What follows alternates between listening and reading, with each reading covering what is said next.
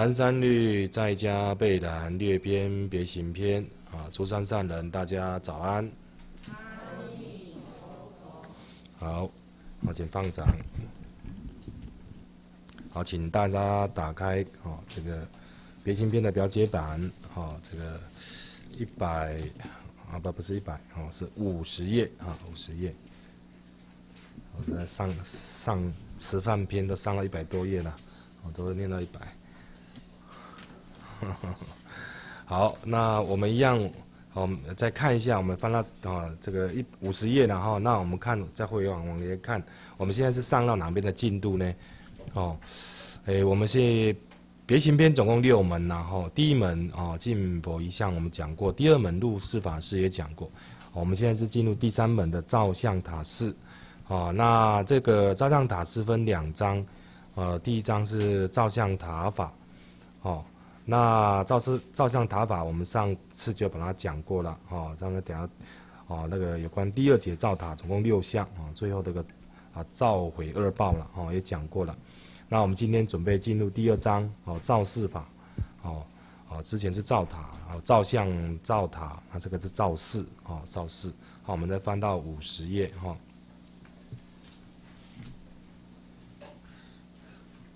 那在进入这个造事法之前，然后，哦，上次最后这个这个什么呃，我们最后讲到那个所谓的造毁二报这边呢，哈，我们这边也在做个补充，然后做个补充，有有有，因为上次因为赶着把它造一段落，哦，那所以有几个地方哦，想说再补充给大家知道。这个少智善报这边哈，大家看到这个四十九页啦，哦，不是这边哈，这个宣主他引了两段哦，两段经文呐，一一段是这个无垢清净女问经呐，那一个是涅婆大波涅盘经，哦，这两个，那这边要补充的就是这个，哦，这个无垢啊无垢清净女问经当中了哈，哦，这个另外有一个。哦，一个那个招感的，这边是他讲的哦，我们这个呃，知啊宣主引出来的，哈，引出来都扫地得五个，哦，五种福报啦，哈，得五福，哈，就是我们这个文上所列的啦。那在其他的文里面，在这个卷一当中也有另外的文哈，他是这样说到的哈，他说无无垢当知，若人信佛。做圆轮形，哦，涂佛塔地，哦，涂佛塔地，散花烧香，哦，哦，有这样的一位，哦，不管优婆塞或优毗，他做这样的一个供养，哦，然后如是供养，我说彼人人生坏，命中，哦，他的人生坏掉了，然后就是寿终，命中之后呢，生，哦，生什么？福福婆体，啊，福婆体就东东胜神州了。哦，富乐之在，哦，那看起来那个东胜神州是比我们南瞻部洲哦更殊胜呐，哦，这生东胜神州富乐之在，与比哦这个东胜神州啦，哦与比寿终之后生什么化乐天，哦化乐天，化乐天是欲界的这个第五天呐，第五天那也相当大的福报啊，哦你看这做这样的功德哦，未来造做因地做这样的功德哦，人信佛啦。然后做圆轮形涂佛塔地，哦，可能做圆轮形，可能是这个塔啦。他做是做圆轮形，哦，圆轮形的，可能是一个完整的，哦，他做完整的，他发心成这个整个佛塔都是他什么，他做的，哦，然后还有整个盖好以后啦，散花烧香种种供养，那这样子的命中以后，哦，娑婆世界的这个寿终以后生东胜神州，东胜神州的寿命结束以后呢，生这个什么？啊，那个化乐天第五天啊，第五天化乐天。哦，那另外还有其他的啊，另外还有做说呢，啊，一样是什么？若人信佛，那他什么？这刚才前面是做圆轮形，这时候做做半月形，他只做一半，半月形就是一半嘛哈。月呃满月的时候是整个，那那半月就是啊一半，然后一样是什么？呃，涂佛塔地啦，散花烧香等等。然后那个如是供养，然后一样，这个人呐，在娑婆世界命中以后，他要做这样的善业啦，然后生什么？啊，生这个什么？犀牛贺州，哦，犀牛贺州，哦哦，那生完犀牛贺州，在一样是什么？富乐自在的。那在犀牛贺州这个寿命结束了以后呢，他升到这个什么？兜率天，啊，斗率天第四天，哦，做这样的功德都升哦，最最后辗转的哦，在就升到这个斗率天呐，哦，那另外的再来一样的一样，若人信佛。那于佛塔边哦，这时候他不是做塔了，哦，佛塔佛塔的地方，刚才前面那两个，一个是做圆轮形的，可能它是完整的，都是他发心的。那这时候半月形的是他跟一起跟人家共同发心呐，哦，他只他的出资一半或发心一半。那这时候第三个的时候呢，他是什么？于佛塔边，哦，这时候他是在佛的塔边呐，塔边呐，哦，因为盖完佛塔以后，还有塔边的四四方也要做嘛。哦，他是在佛塔边呐，哦，四方土地，哦，哦，不是做佛佛塔的部分，是在它的四周啦，啊，一样是铺地啦，或做栏杆之类的，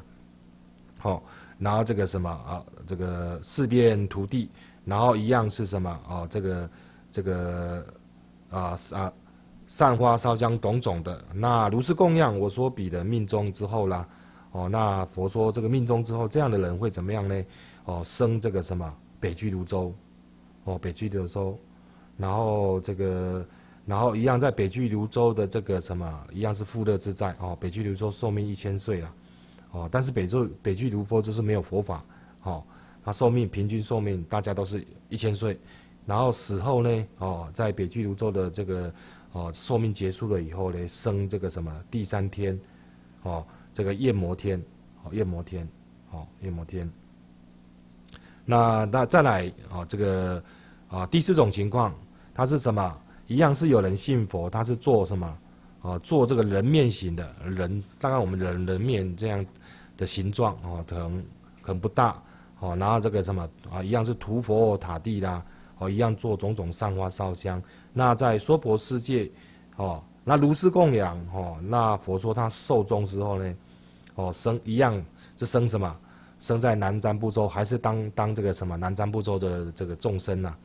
哦，一样，你他没有堕到地狱去，他升到人道，啊，然后可是这个人道的寿命结束了以后，可能人寿可能，哦，从八万岁到这个什么十岁不等了，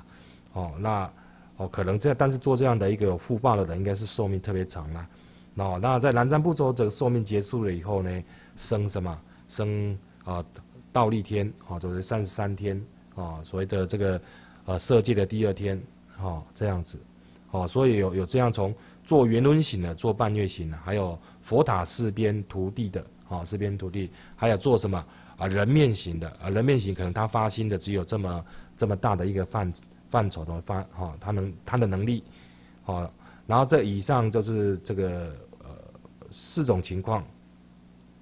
那这样的四种情况呢，哦，那这个什么，诶。这就是补充这个呃前面这个什么啊，我们这个呃宣主引的这个文呐，哦，他不是最后说命中生善道天中吗？哦，那这边就是啊举出这个哦这个什么，他另外没啊这个宣主没有列多列出来的部分啊，另外补充给大家知道，哦，那这个善报啦，这些果报啦，哦。我们一样，真的是修净土以后，懂得啊善巧的回向呢，回向西方呢。哦，虽然我们有这样的一个果报，但是要不要去，你可以决定啊，你可以决定。啊，你想去，哎，因因地有做这样啊，必然有这样的果报会会现前。那这个现前，你要不要去，就看我们修净土的人呐。哦，应该是啊，懂得还是去阿弥陀佛的净土比较殊胜，哦，比较殊胜。哦，你看这个。周虽然升到天道去了，你看那独独在天道当中，只有兜率天内院才有佛法，其他的都没有。所以你想很大的福还是有危机的。为什么？这个存款用完了以后，还要再努力赚钱。意思是这样子，就是说这福报享尽了以后，他人道呃天道的福报享中，还要在老到什么会堕三恶道哦，会堕三恶道哦，是这样子的情况。哎，好，这个是补充这个。呃，这个无垢亲信女问经的部分，那在大波涅盘经呢？大波涅盘经北本的这个地方，哦，也在做一些补充，哦，补充嘿。呃，大波涅盘经有北本跟南本，这大家知道。哦，那呃，鼓励大家看是看北本啊，因为北本是那个北凉天母天竺三藏这个什么谭无师直接翻译的，哦，他们那时候的翻译的。那南本的地方，南本是什么？那个是呃，我们汉地的一位法师，好像不知道，呃，本学忘了法师的那个当时他他跟那个谢灵运呐，他因为这个经文翻译的很感觉是北本的比较。呃，不叫不那么雅，所以他们他们那个什么，他们那个法师啊，就找这个当时的这个居士啦，有学佛的居士，文笔又好的这些哦，谢灵运居，然后重新再汇编所谓的呃这个大波涅盘经南本哦，但是在记载当中，这个南本说这个法师，因为他就创等于说他重新修改了，有有把里面的经文本来翻译过来经文有把它调整，最后他这个什么。听说有一次，这个什么，他流通了一阵子了以后，那这个法师突然间有一天要造早课，大大众找不到他，啊，结果这个什么传记里面记载说，这个法师被拖到这个荒野的地方，被打了遍体鳞伤了，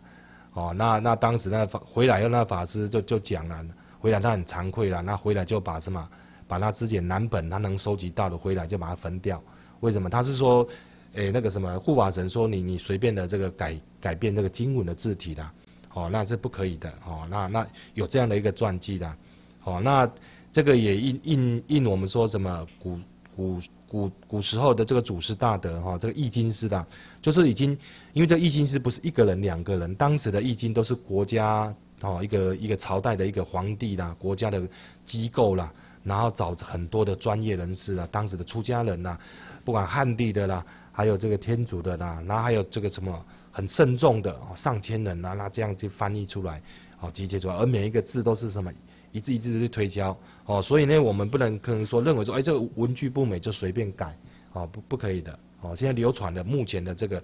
这个藏经呐，哈，我们的经文的部分我们不会动，那你可以做补充，哦，可以补充做暗语的，哦，你提出你个人的提议，但是经文的部分，哦，或许翻译当中，哦，它不是那么念起来不是那么优美，但是。啊啊，不可以随便去更动它，更动它嘿。啊，不然你讲今天啊，一个朝代更动一点，一个朝代更动，经过一一百代，哇，整本经文已经都变了样了。那后面的人读读经文就什么，有时候真的是到底是佛说的还是人家补充的，就搞不清楚了。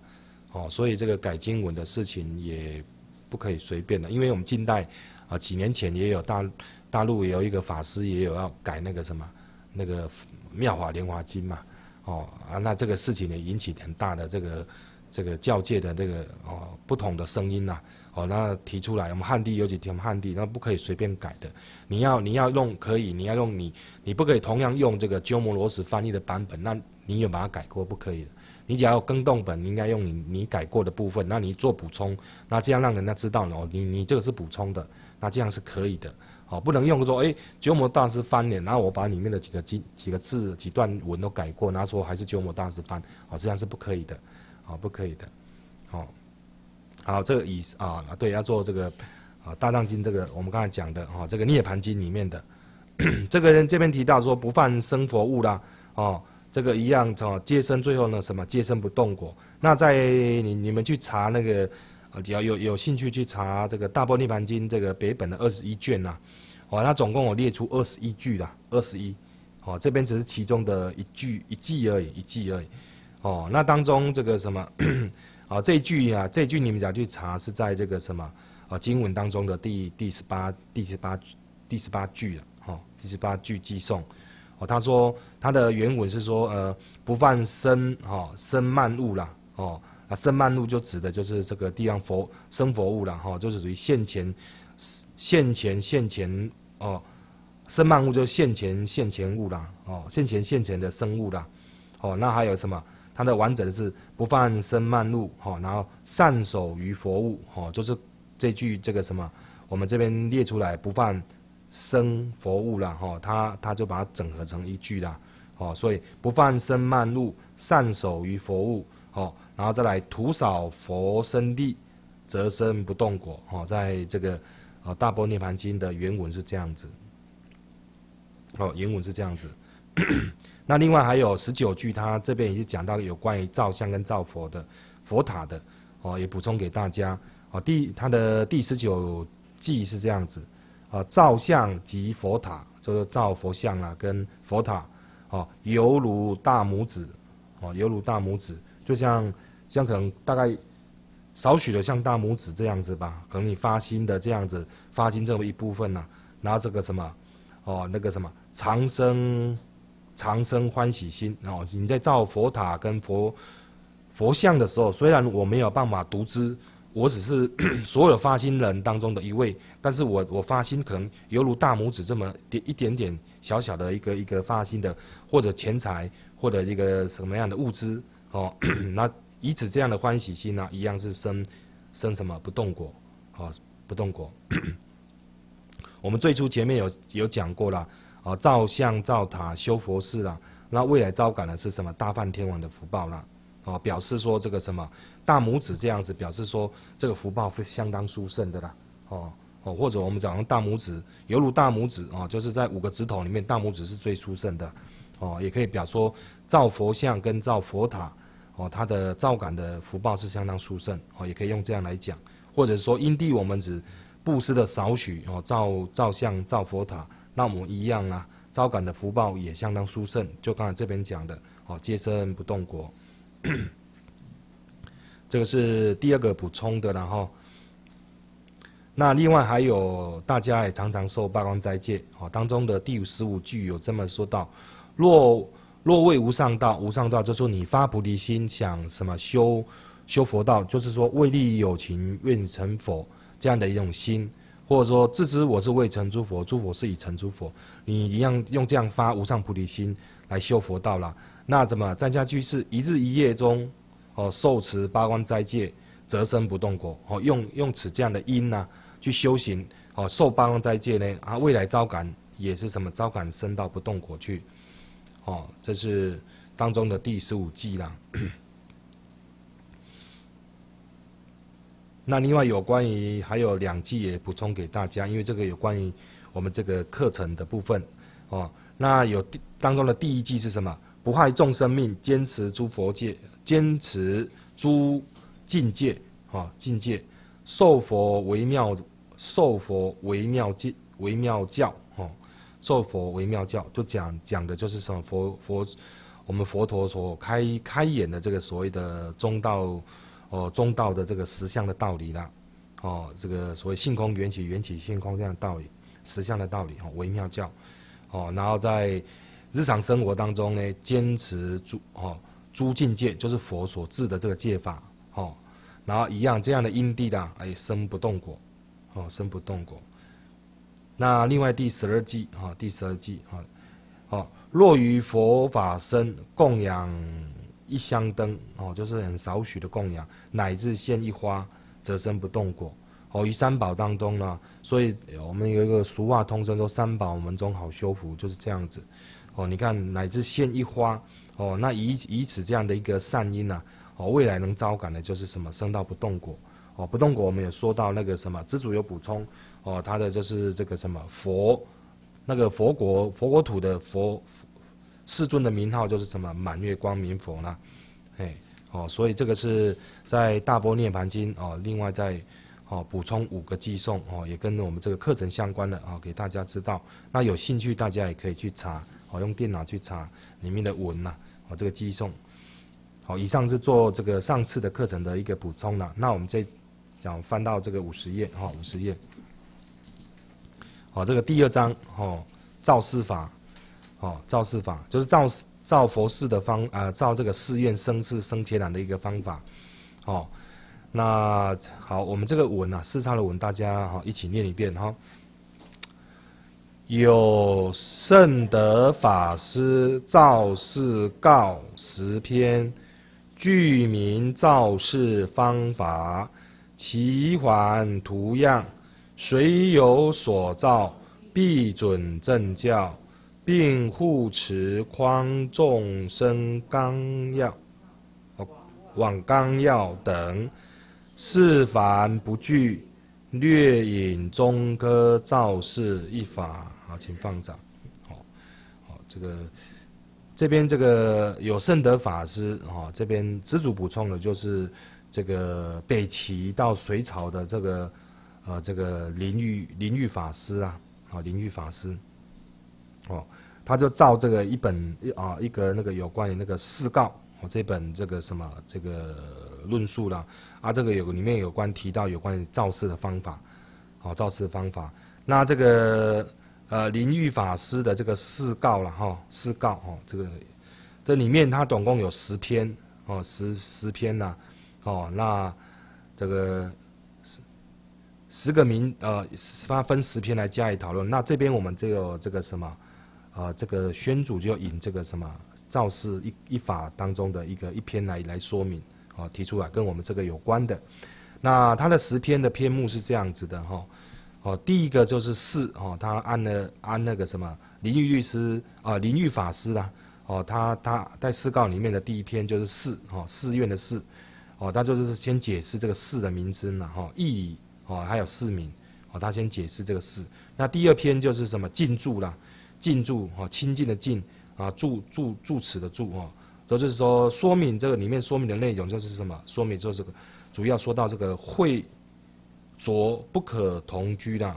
哦，进去就代表说来到这个寺院修修行的人，大家都是在向道啊修这个戒定慧的哈。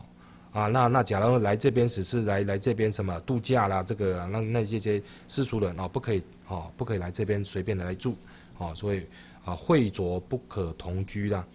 那第三个这个就是什么法同色，哦，它另外一个寺的一个称哦，用一个形容的哈，就寺的名称哦，寺的名称另外叫一个法同色，法同色。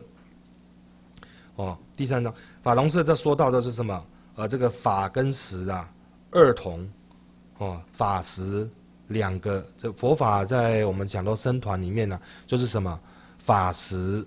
哦二同了，就是不外乎就是佛哦平常的熏习佛法以外，另外一就饮食的，大致上是这样子。我说法实二哦，那同戒都同在一个大戒内哦。为什么？所以佛是在僧团哦一个寺院都会结大戒啦哦，它的它的原因就是这样子哦。我把这边说明完哈，哦戒。哦，法实哦二哦同戒也，哦同戒也，哦这个法跟实啊哈，所以有法有实这乐住啦哈，有假如有这样的一个寺院，我们祖师大德宗教叫乐住，你再怎么样起烦恼也要乐住，为什么？他有法有法师在说法，有住哦有一些老和尚祖师大德在说法，那另外饮食也不缺哦是这样子，哦那有一种最差的情况就是什么？无法无实哦，那这个你你你二话不说就要绕跑了。哦，那你在那边刀业不会增长，哦，是这样子。那有时无法勉强可以住一宿，哦，勉强住一宿，哦，那另外有法无时苦住，哦，因为有法苦住，就是因为因为死就是有日常生活的用，呃，那个什么支具啦、饮食啦不容易取得，但是它有法你要苦住，哦，有这四种这个四句的哈调遣，那。那这个四库当中的第四个哈，他在解释这个什么四的名称哈，它都分成十个。那四的名称，第一个就是四嘛，第二个叫进驻，第三叫法同色哈。那第四个就是什么？是另外一个名称哈，叫做有表法就是什么？啊，出世色哈，出出世间的这种色啦，哦，色叫做金色的色，哦，就是修在寺院里面就是什么？它有这个名称叫做什么？主要是什么？修出离世俗的场所哦，所以叫出世色。哦，那第五个哦，就一般我们常听的金色，金色，哦，那金就是金，金就是金字的哈，哦，精进的哈，那就是非什么，哦，非粗暴者所居的，哦，就是这个脾，这个很粗的人，就是烦恼粗重的人，哦，不适合住这边，哦，这个心细的人，哦，很精细的人，哦，内心非常调柔的人，哦，适合住住这个地方的，哦，这个所以寺院有这样的一个名称叫金色，哦，那寺院另外一个名称叫做六，就是什么？近清净园，清净的一个园地啊，花类似啊那个什么像啊园就是花园的园啊，清净的园，就是什么三业污染处处所的的意思，哦，清净园，清净园。那第七个啊，第七个 金刚刹啊，金刚刹，这个我们常常听到的，佛是叫金刚刹，哦，那这个什么代代表是什么啊？坚固哦，这个什么？刹就是刹上坚固道人所见，刹就是佛指的就是佛寺啦，哦佛寺啦，哦，那这是什么？就是坚固道人所居啊，金刚代表坚固嘛，就代表这边修道人的道心都很坚固的，哦，是这样子的意思。那另外第八个哦，它的一个名字叫极灭道场，哦，极灭道场，哦，四的另外一个名称，哦，开演出来叫极灭道场，哦，就是奇完这个里面形容到说，说明到奇完奇完金色的哈，有莲花藏世界，哦，齐完齐远，哦，就奇远当时佛在齐完金色那个地方，哈，好，他说是有莲花藏世界，以七宝庄严谓之极灭道场。哦，他这个在里面的这个呃灵玉法师的哈，他有这样的解释的，哦，因为这个莲花藏世界，哦，所以这个极灭道场为什么呢？哦，他说这个卢舍那佛说法华于此，哦，就是卢舍那佛，哦，他说法华在在这个体此此地处啦，哦，所以叫另外四的名称有一个第八个叫做极灭道场，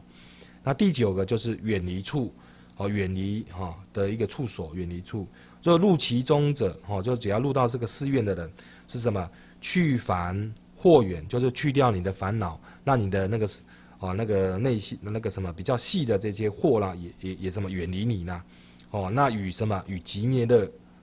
相近呐？就是与极灭的相近，就代表说我们在寺院里面修行的这些修行者，哦，他他内心常常是什么？在调伏烦恼部分下功夫，那常常与法乐啦、极灭的哦相应的哦的意思。好，这第九个远离处，那第十个叫做亲近处啦。亲近处啊，解释是什么？如行安乐行，哦啊，于此中尽法故啦。什么叫安乐？因为在一心安住在法上，哦，所以什么？所以叫净法故啦。所以心安住在法上就是什么？安乐行，哦，安乐行，哦，你心促进的时候，你常常与法相应，哦，不不跟烦恼相应啦，那你这样就安乐啦。哦内心就安乐啦，哦，哦，那这个就是什么？哦，这个四的另外的一个十个名称呐，哦，十个名称，哦，那这个是另外要补充这个四告，哦，灵玉法师的这个四告里面有关于解释这个四的名称，哈，这个四的名称有另外这个十个含义的，好，好，那我们先解释到这，先下课休息十分钟，好，诶。大家翻到这个啊，这个表解版，啊，表解版这个五十页啊，五十页造事法。刚才补充上堂课补充这个灵玉法师的这个四告这一本，哦，是到这这个这个什么？它里面提到，哦，它里面是什么？它完整的叫做哦，它撰撰著一本书叫做《塔世记》啦，哦，并释告总共是十篇呐，哦，那你。它只有一卷而已，十篇。那当中它是刚才我说十篇里面哦，它是因为说都是死，但是它这边有解释。刚才上一堂解释那个四告里面有解释，这个四啊有十种名称都可以称为四哦，佛寺啊，哦，出世色哦，金刚刹金色这些都可以称为四哦。所以你只要看到有的叫做什么金色哦，这也代表说是有出家人住的地方呢，或者极灭道场或者进驻，这些都是可以称之为。寺的名称的哦，另外的不同的名称，让它表的都是一样，都是佛寺，哦，这边是补再再修改一下，补充一下哦。好，那我们看着这个呃五十页的这个脉络这边，哦这段文啊四抄的文，知主把它分成三段。第一个啊标人法啊标示这个什么索引造事法好的资料好的这个资料是何人呐？何人所哦标人法，标出这个是这个造事法是何人所做的啦？哦，他还有他的这个书名哦，哦，就何人跟书名有圣德法师造，哦，造就是什么？他的这是什么？呃，所谓的什么传传这个论呐？哦，传述啦，造等于都写书啦，哦，他记载啊，他哦整理资料这样子哦，造这个四告十篇，哦十篇，哦，那这个告的意思，古代有一种。用用告啊，他写这个什么告书啦，这个告有一种告诫的那种文体啦。哦，有时候古古时候或者说这个皇帝要要要布告一些什么事情重大事情要告诫百姓的，哦，他就用告的这种文体来写，哦，说私告，也代表告诫要要大家要留意的哦一些一些重点，嘿，那这有一位哦这个有位圣非常有修行道行的法师啦，就是隋朝的这个呃林玉法师，哦林玉法师，他是北齐出身呐，哦那隋朝到隋朝的时候，哦那就哦哦就是出生在在北隋朝的时候在过世啦入灭了，那他是那时候在隋朝，所以一般讲林玉法师查都是隋朝的人，哦隋朝。那他隋朝是相州的这个他大大慈寺的这个沙门呐，他他住在那个大慈寺哦，当时，那这个法师他就刚才讲转了这个呃四告，其实四告就是当中的这个什么佛呃这个塔记啊塔四记一卷当中的这个什么一一个一个一个一个哦一个一个一个那个什么啊一一则哦是这样子，所以它是塔四记并四告。哦，所以一般大家都称为四告，哦，四告就是十篇一卷这样子。哦，这个是第一个标人法。那第二个是视其所述啦，显示这个四告这本哈这本书啦哈，哦，它里面的篇章哦，那叙述的内容啦，哦，那说到居民造势方法，哦。居民造势方法，就是说它里面的文章哦，有很正式的，啊也也怎么样，很具体的说明造势的方法，哦，那这个奇环图样哦，那这个奇环图样就是印度那个奇环金色的哦，哦依这个什么依这个奇环图经哦当中居民这个诸院哦诸院就是哪一个角落要盖什么样的一个一个一个哦哪边要盖大殿呐？哪边要盖佛塔啦？哪边盖盖盖那个什么僧寮？哪边要盖厨房啊？哦，他根据这个什么奇环图样啊，来来什么来撰写的？哦，他是有有这样的图样，他才来写这本哦《诗告》这本哈这个《塔斯记》这本书了哈。哦，那这个谁有所造，必准正教。哦，那在《诗告》的这个这本这啊这这这这个书里面内容所撰造的。造势的这个式样的佛造势的这个相貌哈，它的样式啊哈，必定是准照这个什么呃经教所载的啊，代表说说这个什么灵玉法师写不是他自己编的啦，哦，他是有依据的，哦，有依据的，哦，有点现在的这个什么哦，这个什么，人家来盖盖大楼都有一个什么那个叫做什么呃呃蓝图对蓝图，那蓝图是谁做的？一般是那个工。工那个叫叫什么啊？这些建筑师哦，他他是有点这样很专业的这个建筑师的，哦，那等于说这个法师他一样把这个详细的造势的方法，他把它留下来，这个正确的这个呃呃这个什么一个一个法度，他把它传记下来，好，这样留的留下来给后后世的这个僧人呢啊，他有一个依准哈，是这样子，好，好，所以这个假如以我们现代来讲，真的要盖佛盖佛寺的。那这些你你你去找的哦，我们说这个哦发行的大护法去去找这个什么人家专有名的这个什么啊建筑师啊，他可能得过什么奖啊？可是这个他对佛寺他盖佛寺一窍不通，那你你真的要要要要请他盖的时候，也要要说你要盖佛寺，这个这个是非常慎重的事情，不是随随便依着他的想法去盖啊，你就要给他什么啊？给他这个有关于这个什么，像这个四告这个或者奇阳奇幻体。奇完金色这种图样啊，哦，给他这些什么，这建筑师看，他才有一个什么依准啊，不然他那个建筑师会依着他的什么，他的 个人的创作啊去盖的，哦，哦，那就就比就就有有不同不同啦，就就跟那个什么佛寺以前啊，这佛陀讲的留经教里面留下来就不同了，哦，并护哈，并护持框哈，并护持框众生刚往，哦，众生往刚啦。哦，身往纲要哦，护持匡身哦，应该是这样子，并护持匡身哦，那不是，并护持匡重哦，那逗点哦，身往纲要等，应该是这样子，念比较顺哦。他哦，就在该该文中哦，他思告这本书啊，它里面记载说说明到护持正法的一个什么一个内容，还有匡正这个大众。哦，匡就匡正大，匡众就匡正大众啦。那再来是什么？整顿这个生生纲，哦，生网纲，哦，生纲生网，哦，还有纲要等等，就把有关于这个生，什么叫生网，就有关于出家人该做的这些详细的这个内容纲要啊，他都把它说明出来。哦，他把那个内涵都表都写在他这本《诗告》这本这本书当中，哦，记载下来。那第三段，今啊明经所引，哦，说明现在所引的这个文呐，哦，那四凡不惧，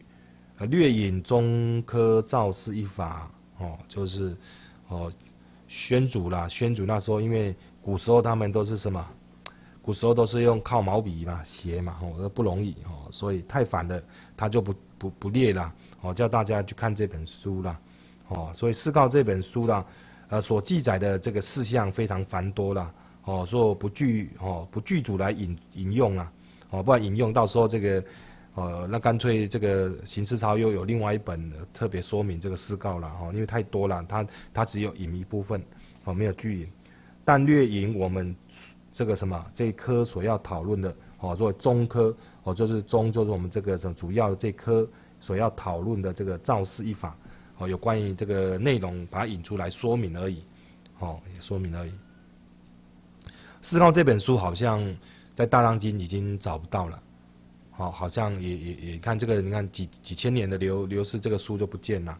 哦，那日本那边哦，他们的大正藏里面也好像查查不到。那有有查到的哦，《大藏经》里面也有，就是那个什么，呃，就是《奇丸图经》呐，哦，中天竺哦，这个呃《奇丸世图经》哦，还有这本，还有这本，那那有关于这个四告这本就就就找不到，哦，找不到，哦，有去搜寻的没找到，哦，哦，所以这个，哦，像这个什么刚才提的这种十个名称，就是在这个《奇丸图经》呐，还有其他这个什么。组织大德的这个著述里面，他要引出来。哦，所以才会有有这个四的，呃，有有十种名称都可以称为四的这样的一个流传下来。啊，不然完整的这个《四告》这本书好像也也不也不见了，没有流传下来，哦，只有看到它的部分而已，没有办法看到它的全貌，哦，那我们看的这个旁边的这个支持是云，哦，出标人法，即林玉法师，哦，北齐到出生在北齐，哦，然后隋朝。哦那称美道行，哦，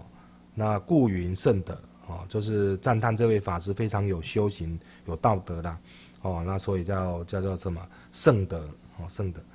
那四告记比文，哦，记比文通体，哦，就是四告就是这这个什么，呃，这个塔斯记这本，哦，这这这个这个书的那个什么通体的，哦，它的主要的一个题目。哦，那句下这个句下就是句名造势的方法，哦，视其所述，哦，就是显示这个什么《四告》这一书，哦，它的内容呐，哦，所述所述的内容，可是就是宣主就简简单单的几个几句就带过了，啊，整个完整的内容就可能看《齐完齐完图图经》哦，里面可能也有相关的记载，哦，那四下就是四凡不惧的哈，哦。明呃明经所引，说明这今天我们只有引这个什么，呃里面当中的一个造势这一这一文而已哈，没有全部引出来，好，好，好，那我们再看的这个造势法，哦，它是先把这个造势法这个先说明，那再来详细的，它再分成两节来加以说明，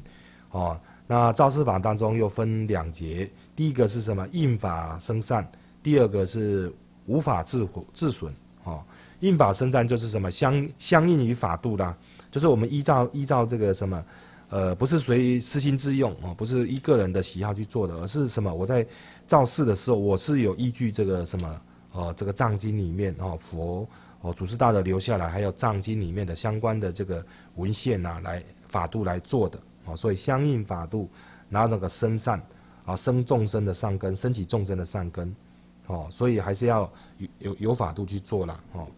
哦。不要说发好心去做，然后都不不先做这个什么啊呃这个基本功呢？哦，是不先把蓝图或者相关的资料先看清楚，然后就是什么啊，就马上去做了。那做的时候有时候一做起来，结果就很多的地方都是什么哦，都跟法度不相应呐，哦，那就很可惜了。第二，哦，这无法自损，哦，哦，造势它说明说里面说明的内容就是造势的这个呃法度它是什么？不依照这个法度来做哦，刚才讲的就是私心自用啦，啊，或者说现在的这个建筑师啊，说我他挺有名，可是这造事造有关于造佛事的方法他都不懂，哦，这边他就门外汉，哦，那他就是用他的方式去去去画出蓝图，拿去盖，哦，盖起来有时候假不标标这个佛寺还不晓得这是佛寺，哎，这样子，哦，而什么导，而而什么，而自损，哈，而导致这个什么，哈，这个生熟啦，有有所什么，哦，损损害啦。哦，都损失这个损害损害什么利益？就是生本来是可以升起善根呃善根跟这个福报的呢，哦还有利益的，那结果呢，就是因为没有依照法度，说反而是什么有损这个福报了，哦有损福报了。那因为寺寺院盖的不不恰当啊，你假如寺位，我们刚才讲那个方位盖错啦，哦方位盖错，所谓的方位盖错都本来哦，譬如说那个什么佛佛塔哦大殿那盖在这个。上风处就盖在下风处了，哦，那那个没有盖得好，那那里面住的这个四众啊，他也没办法安定下来，因为凡夫嘛，那到最后大家都人离开了，最后寺院就空下来了，就变成空的，没人用。有盖盖起来，但是没人用，哦，所以呃很多的我们的汉地的祖师大德为什么盖寺？他特别有修行，可是他盖寺的时候，本来诶，他都认为说诶。他是佛法讲啊空空啊空无所的，不要执着了啊，怎么还会在乎这个风水啊？因为他是说什么？哎，祖师大德很有修行，他个人没问题，可是盖盖的是要给后面的这个凡夫修行者修，所以一般人住啊，就要住这环境地理环境还是要这个舒适，那你才有办法身才可以安定下来。因为我们呃凡夫起修这个我们心虽然心有这个什么，我稍稍有一点堪能性，可是外在的。呃，外在的这个环境呢，太太什么，太恶劣了，对我们我们的心也会什么啊，安定不下来，会扰动的哦。所以起修凡夫当中，还是需要外在好的这个环境的设置哦，才办法安定啊，才慢慢让那个内心的这个道业慢慢的一个增长跟坚固哦。那一一下子要跟这个什么哦，叫他说去去悬来峭壁里面 去去去用功啊，我看没有几个人能能这样修的哦，没有人直接这样修。好，好，那我们翻到这个五十一页，第一节，印法生善哦，就是相应于如法的法度哦，然后升起哦众生的这些善根呐，哦跟这个利益，我们四抄的文哦，大家一起念一遍哦。为处所须必积色，当离于泥寺及四棒斧侧等。佛殿金坊即令亲树，僧院除处去得充实，如此则后无所坏。其还途中，凡立木石土语，并有所表，令人天事相，知世门多法，故能引复邪术。禽兽微微微，行以隐应，为是清养。禽兽微，好，微微，哈，还有这个隐印，哈。好，我们看了旁边的这个脉络。哦，这个脉络，这个啊，支主是没有分哦，然后这个是哦，哦，这个编这个。这个标记版的法师，他把它分这个脉络，我们看着，啊，简单分成两段来再讨论呐，好，那我们讲这两段的安科啦，我们可以这样安呐，第一个是续如法啊，续如法，哦，那第二个就隐士了哈，这两两小段可以用这样来来表表表达，好，我们自己安这个科了，好，那在续如法这个第一小段当中分又分成小三小行来加以说明，哦。为处所哦，就是寺院的这个处所啦，哦哦，需避鸡舍哦，需要避开这个呃有鸡弦的哦跟干涉的地方哦，因为干涉就呃，譬如说你你你在市集，那下面讲市集啊，人都一直来，你根本没，你就要出家人本来就要要要什么用功办啊，结果一直要是什么去接待别接待这个什么访客就很麻烦了，好，当于当离好于尼寺。哦，及四棒辅侧等，哦，第一个就他需要远离什么呢？哦，这个讲的是这个寺院讲的男众的道场，哦，女众道场也相相似那样，就要远离这个什么男啊绅士啊，哦，是这样子，哦，所以呢，南众的道场，那与远离尼寺，哦，要远离这个啊比丘尼的寺院呐，哦，要有一点要有距离哦，要有适当的距离，哦，那啊不能都在隔壁啊，这样不行哦，这样会引起啊世俗人的危险，哦，第二个这个什么呃远离市啊呃市场，哦这个这个市啊这个市场，哦，哦这个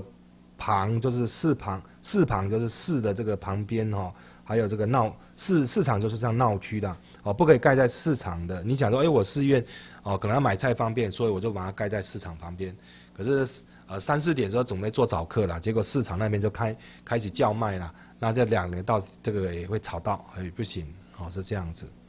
好。那第三个这个远离官府哦，官府的旁侧呢，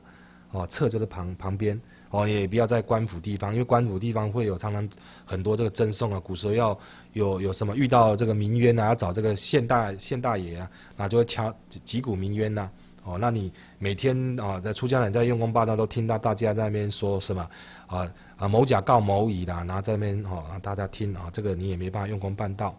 哦，所以要远离这个。哦，所以一般寺院哦早期像台湾还不很发展的时候，本来的寺院就开。盖在市郊，结果因为慢慢的人口多了以后，变得原来在市郊都变成在市区了哦。很多现在寺院是这样子，好像这个好像善导寺，是也是这样子，哦，像在南我们中部的也是这样子。以前都是在农地呀旁边，本来那就是农地的盖的哦，等于说是离开闹区都有一段距离啊。结果因为人口一增加，那边地重化，也又变成什么，变成这个很很发达的一个什么新的一个闹区啦。哦，很多是这样子，哦，那也是没办法，哦，没办法的。哦，那我们看的第二小行，佛殿金哦，还有金坊，金坊就是一个是佛的大殿呐，哦，有摆佛像的地方，哦，供佛像的地方。那金坊就是什么藏经楼，哦，这个放经典的地方，哦，即令清肃，哦，就必须使令它干净，哦，清净呐，整齐啦，哦，然后这个雅素，哦，不要花花绿绿的，哦，非要用素色的，哦，这个或者。哦，那个大殿用的或者木头的颜色的哦，那看起来都特别的雅素啦。人到里面就会心就容易静下来。哦，那这个都是你说的这个要布置庄严，也要要要注意这个色调。哦，那让让这个环境呢，哦，容易让让人进去以后呢，能够什么，能身心能放松，哦，能摄心，哦，是这样子。那意语跟这个道业相应呐。这是第二个。哦，所以大殿跟金房也要。也要注意这个设置的位置，还有装饰啊，哦，装潢这个也要留留意，要清肃。那僧房啊，僧院储啊储库啊储，僧院跟这个储仓哦哦储仓，哦就是僧寮哦，僧院就是僧寮，僧人住的地方，出家人住的地方，哦，它的寮房。那还有这个这这个厨房斋堂哦啊，这个仓就是库房啦，哦，一个是。啊，厨房跟这个斋堂跟这个什么，这个厨房，厨房就是那个库房，哦，有哦存放东西的地方，还有这个什么煮饭菜的地方，哈，啊，去得充啊，去得充实的，哦，代表这些库房、厨房啦，哦，这个一般生啊生人日常生活所需的啦，哦哦，这个要什么啊，要要充足，要充足，哦。去的充足，就是要平常要用哦，马上都可以取得得到，哦，不要说要准备要啊要要煮饭菜啦，要午斋啊，结果哦这个点做去哇，都库房都空了，那就糟糕了，哦，所以要平常就要也有备备备备这个备份的哦，啊，一般寺院也都是这样子，他可能备几份的量，哦，然后没了，然后再下山去买，哦，以前我们在寺院都是这样子，啊，或者居士啊发心啊送到山上来，也是这样。哦，那这个库房当然除了厨房就是厨房嘛，哦，包含厨厨房一般的这些用具啦，还有这吃的啦。那仓呢，可能就是另外的仓库了，可能其他的这生活的支具，哦，还有什么支具？哦，棉被啦、衣服啦，哦，日常的这些，对对，就是日常其他除了饮食以外的，呃，出家人要用的东西，哦，就叫放在另外的一个仓库，叫库头，哦，库头。一个点座，一个裤头，那个不同，哦，哦，寺院有这样的分，嘿，哦，那他只要都这些日日常生活所所需都要足够了，哦，那僧人不要都没了，那僧人还在跑，哦，比方说以前都在山上，还要跑到山下去买，哦，这样很费事。那足够就好了，哈，所以说去的充实只要够就够用了，呃，也表示这个什么，呃，这个所谓的少欲知足，哦，适当就好啊，不要装到都满了，或者装到都东西都放到坏了，那这个也不行，哦，会反而让信施啊，浪费这个信施，哦，就不好，好，如此则后无所坏，哦，啊，如此的，假设你你有这上个上面这个地盖必盖机机弦。第二个，在用功办道的地方都非常的这个轻疏，哦，容易到相应。那平常住的地方还有饮食这些，哦，日常生活用品都足够，哦，都很适当。那如此呢，则后无所坏啊。那这样寺院呢就可以什么？因为有人住，有出家人在住，有在那边用功办道，哦，所以有在运作。那这样子什么？寺院就会什么？哦，就会久固不坏，哦，久固不坏，好，也就代表这个什么？啊，这个人传续很久了，哦，道场啊，不然你看你环境盖盖的不好，然后那个什么啊，这个种种东西也缺，然后这个啊藏大殿那这个还有藏经啊、藏经楼这些啊经典也不多哦，然后环境也不好，那这样很快的这个这个道场啊就什么就冷漠下来、冷清掉，乃至没有人住，啊，没人住，哦，当然台湾有时候我们看一看台湾很多人发心盖道场，可是盖一盖后。出家人又少了，没人住，也没人住，很多是这样子。他们很发心盖道场，可是，在盖的时候就没有很发好心，可是就是真的很可惜。就假他能发好心，也能更能生供去研究。哎，我寺院到底要怎么盖？哦啊，去看了解以后，哦，原来是不容易的，所以很慎重去盖佛寺，择择择这个什么好的这个风水地啦，然后去盖这个寺院啦，然后让他可以安。安身办道，让出家来来来这边用功办道的僧人都可以住的什么很安稳，哦，道业也能增进。那假这样去盖就好了。那假没有呢？你看很久了，那就花了很多钱，那盖了以后就荒废掉了。哦，那出家人因为现在真的说坦白的，要要扶一个道场大的真的不容易啦。哦，每天这个这个眼睛张开，水电呐用啊那个。那这个住住的这个师傅啦，不 可能要招总这样这样什么，这个什么开销啊，真的相当辛苦，相当辛苦。所以像台湾的几个大道堂，真的相当不容易。这些发心的大德，嘿，真的是相当不容易。好，我们再看这个后面哈，这个第二第二个隐士哈，奇幻图中哈引经来显示的。哦，奇幻图经当中有说到。哦，那这边又分成两两两小行了，凡立木石土语并有所表，哦，都是在寺院里面盖寺院呐，哦，你看盖寺院，你看它的树木要怎么来来种在哪一个地方，怎么种啊，种哪些树啦，还有安这个木呃这个石头啦，哦，你看假假的这个石头啦，哦，还有这个什么土台啦，哦，你安这个土台啦，还有楼宇啦。并有所表，它这都有表法的哦，它有它的表法在，哦，不是随便盖的，嘿，哦，不是随便盖的，哦，这个这个这个是反而日日本的一些道场还保存那个唐朝的那个风格，可能就有一些，他就有依照这个哦，他你看他一一些一些一个地方，他可能用功办道地方，你看他可能简单的几棵树，然后一个石头，哦，那些石头的他他在立的时候都有表法的。哦，都是让让那个用用功办道人在这边惊醒，或者用功办道，他可以去什么去参，啊，然后去什么去体会这个佛陀说法的意涵，哦，好，那他后面会解释，哦，这个我们待会后面再解释，我们先把文再往下看，令令什么？第二第二小，令人天哦四象，哦，令人天四相知四门多法，哦，哦，令令那个什么人天呐？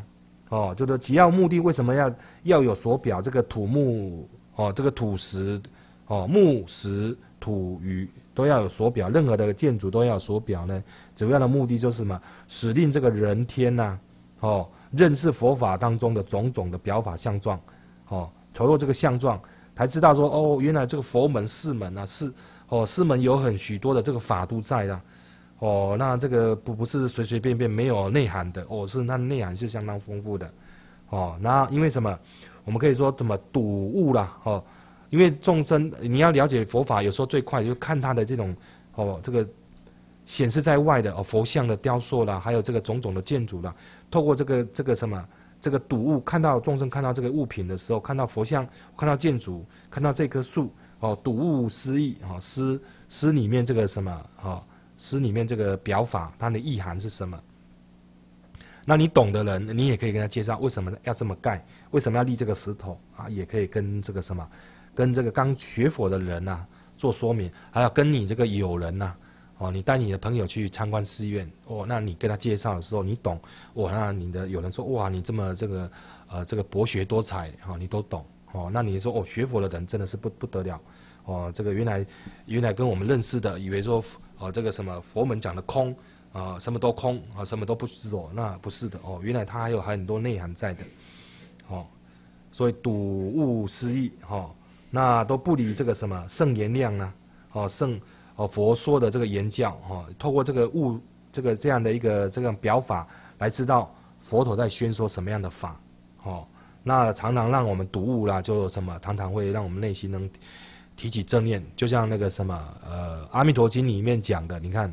哦，那个不管听到风声、鸟声呐，哦，那这种种的哦，外在的五尘都会为我们说法，那我们内心都会升起正念，哦，五尘说法，那这个也有一点这样的一种意涵，哦，那让我们处处随心所见呐，哦，都不打妄想，哦，都能想想到这个佛陀的这个言教啦，哦，那心心常常跟法的佛的法的言教相应啊，那我们那内心都什么远离这个什么，远离这个烦恼，就能常常。内心没有烦恼，哦，就是一种哦极涅涅槃的一种相貌，极静的一种相貌。哦，还有这样子。那故能，哦，和我们讲故能这个，隐覆邪术，然后禽兽畏威，哦，使令这个呃魔啦，使使令的魔魔士啦，外道啦哈，这个就是呃这些这个外道哈邪术哈，没有威威势的。哦，没有威势的，他的威势就没了。哦，有的外道会认为他们很强，可是来到佛门以后呢，啊，看他们的这个这个内涵都没了。哦，还有这个什么禽兽畏威，哦，使令这个什么呃畜生啊、异类的哈这些禽兽啦，不敢加以侵犯。哦，他就看到这样的一个表法，这些禽兽不敢来这个，不敢随随便便来加以什么破坏这个寺院。哦，那还有再来，哦，这个形以影印，哦。形影影印，哦，啊，这位形总说相啊，他的相貌了哈，相色可观，代表他有很多的这种 这个什么这个表法在哦。你进去不单单来这边，即使初学佛来的人，他也可可以得到很多的内涵，了解到佛法很多的内涵，唯是清养哦，令这个什么世俗都升起善根呐，哦生善，所以我们来到寺院哦。不会空走一回，哦，来到寺院，哦，你透过你的介绍，让他也了解到整个寺院佛法它的整个内涵所在，哦，所以这个立寺院，盖一个寺院是有这样的这么，哦，它的一个什么深度是这么，这么这么，哦，这么深，哦，还有它的内涵是这么丰富的，哦，所以不是随随便便盖盖的，哦，所以我们还是要真的要盖，还是要去了解清楚以后，你再来做这样的一个，哦，发心盖寺院是好，嘿。那我们假如说你要看那个奇丸金色的那个什么那个那个表法，你也可以去查《大藏经》，里面也有那个图示，还是有祖师大的，你还是有在有把它刻印下来。哦，那里面有它的方位有盖什么盖什么，哪边盖什么往生堂啊？往生堂要盖在哪边？大家晓得吗？往生无常院、往生堂、寺院都有安这个，还盖在西边。哦，因为西嘛，往往生极乐，哦，日落西山，哦，这就有这样。那戒坛好像都盖在东边还是什么？哦，那有生发的意，哦，生发的意思，就发起菩提心这样的意思，哦，它的概都有方位，都有它的一个表法所在，哦。好，我们看着这个支持四云这边，哦，哦，它的解释，哈。机就是机弦，哦，那涉就是干涉啦，干涉就是，哦，常常会有很多不必要的人来干涉你，所以这个，呃，台湾还是好，哦，也这个宗教还是比较自由，哦，哦，那那只要不要违反世间的法呃法律啦，哦，那政政府就不会来干涉，你们要怎么用功办道都好，哦，都好，哎，不会有来干涉，这这才好，哦，那金坊祭金金藏，哦，这是哦大藏金楼啦，哦，那木石等者，哦，这是表要表法了哈，那植树，哦，你你种树啦，植树啦，表其生长。表那个生长是什么呢？就是我们的菩提的菩提心呐，哈，哦，然后那个日益的这个什么茁壮，哦，那个种树啦，所以看到树的时候，在寺院盖种树，哦，要表示说我们要意念到这个什么，哦，我们发了菩提心，我们在佛前发心受戒的，发这个无上菩提心，断恶修善度众生的心，哦，那看到这些树，我们也表说，哎，我的我的菩提心是不是一天一天的这个增长茁壮呢？道业是不是增长呢？哦，我们可以通过这样来那个，不是看树，哦，这研究这个树是什么哪哪一个品种，哦，那再讲到这些，反而是表示种树有表它的意涵。所以在寺院一般种的都种什么松，哦，松居多，菩提树啦，哦居多，哦是这样子。那历史呃历史表其坚固哦坚贞呐坚贞，哦就是说这个什么我们的道心能坚固了，哦那。啊，对这个什么，我们修的发的菩提心哦，没有动摇，哦，道心坚固。那戒呢，就是哦，再来戒坛居东哦，这边说到了哈，刚才有补充，戒坛居东哦，表什么生发生之意，就是什么发起这个无上菩提心的这样的一种意涵，哦，因为每次登坛的时候要都到叫大家发发心嘛，好，发起无上菩提心哈。哦，诶，借此会引导你们去发这个心，然后最后得到这个戒体。好，所以这个哦，就有这发起无上菩提，无上菩提心也就是戒体啊，也可以这么说。因为无上菩提心的包含的内容就是断乐修善度众生的意涵。嗯，那再来无常愿哦，这边也说到在西哦，那因为病人哦，我生重病的这些生生人哦，或者将要。临终的这个僧人哦，我们就把从他生疗移到这个什么无常院去照顾，哦，照顾，哦，有点像，呃，有点像临终关怀这样子，有特别的地方，哦，那那个地方来来来管理，哦，像有些寺院我们待过，也有比较年老的病的这个，呃呃长呃这个什么出家人年长的，他行动不方便呐，所以他必须有相关的这个医疗器材。可能他睡的不可以睡一般的床啊，他不要说那医疗床哦，在医院那种他可以伸缩的哦。以前我们在寺院住过哦，也有这种情况。那这个也是寺院特别的这个针对这个病比丘哦，他的一个照料啦哦，啊照顾的人也方便哦，不然你讲在一般的这个没有这个辅助啊，那照照料起来相当的不容易哦。到时候我们下一章就会讲到沾湿病人，也就会讲到这个照照顾病人哦，他的福报是相当。大的嘿，再来，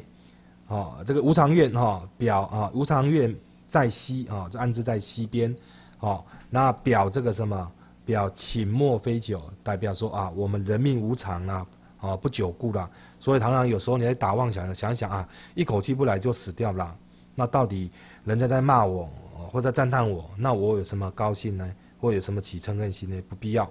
哦，那无常就过去了。哦，不用对号入座，哦，即使对号入座，我们也能跳出来，哎，那再来立刹，啊，表这个呃迷者之规，哦，立刹，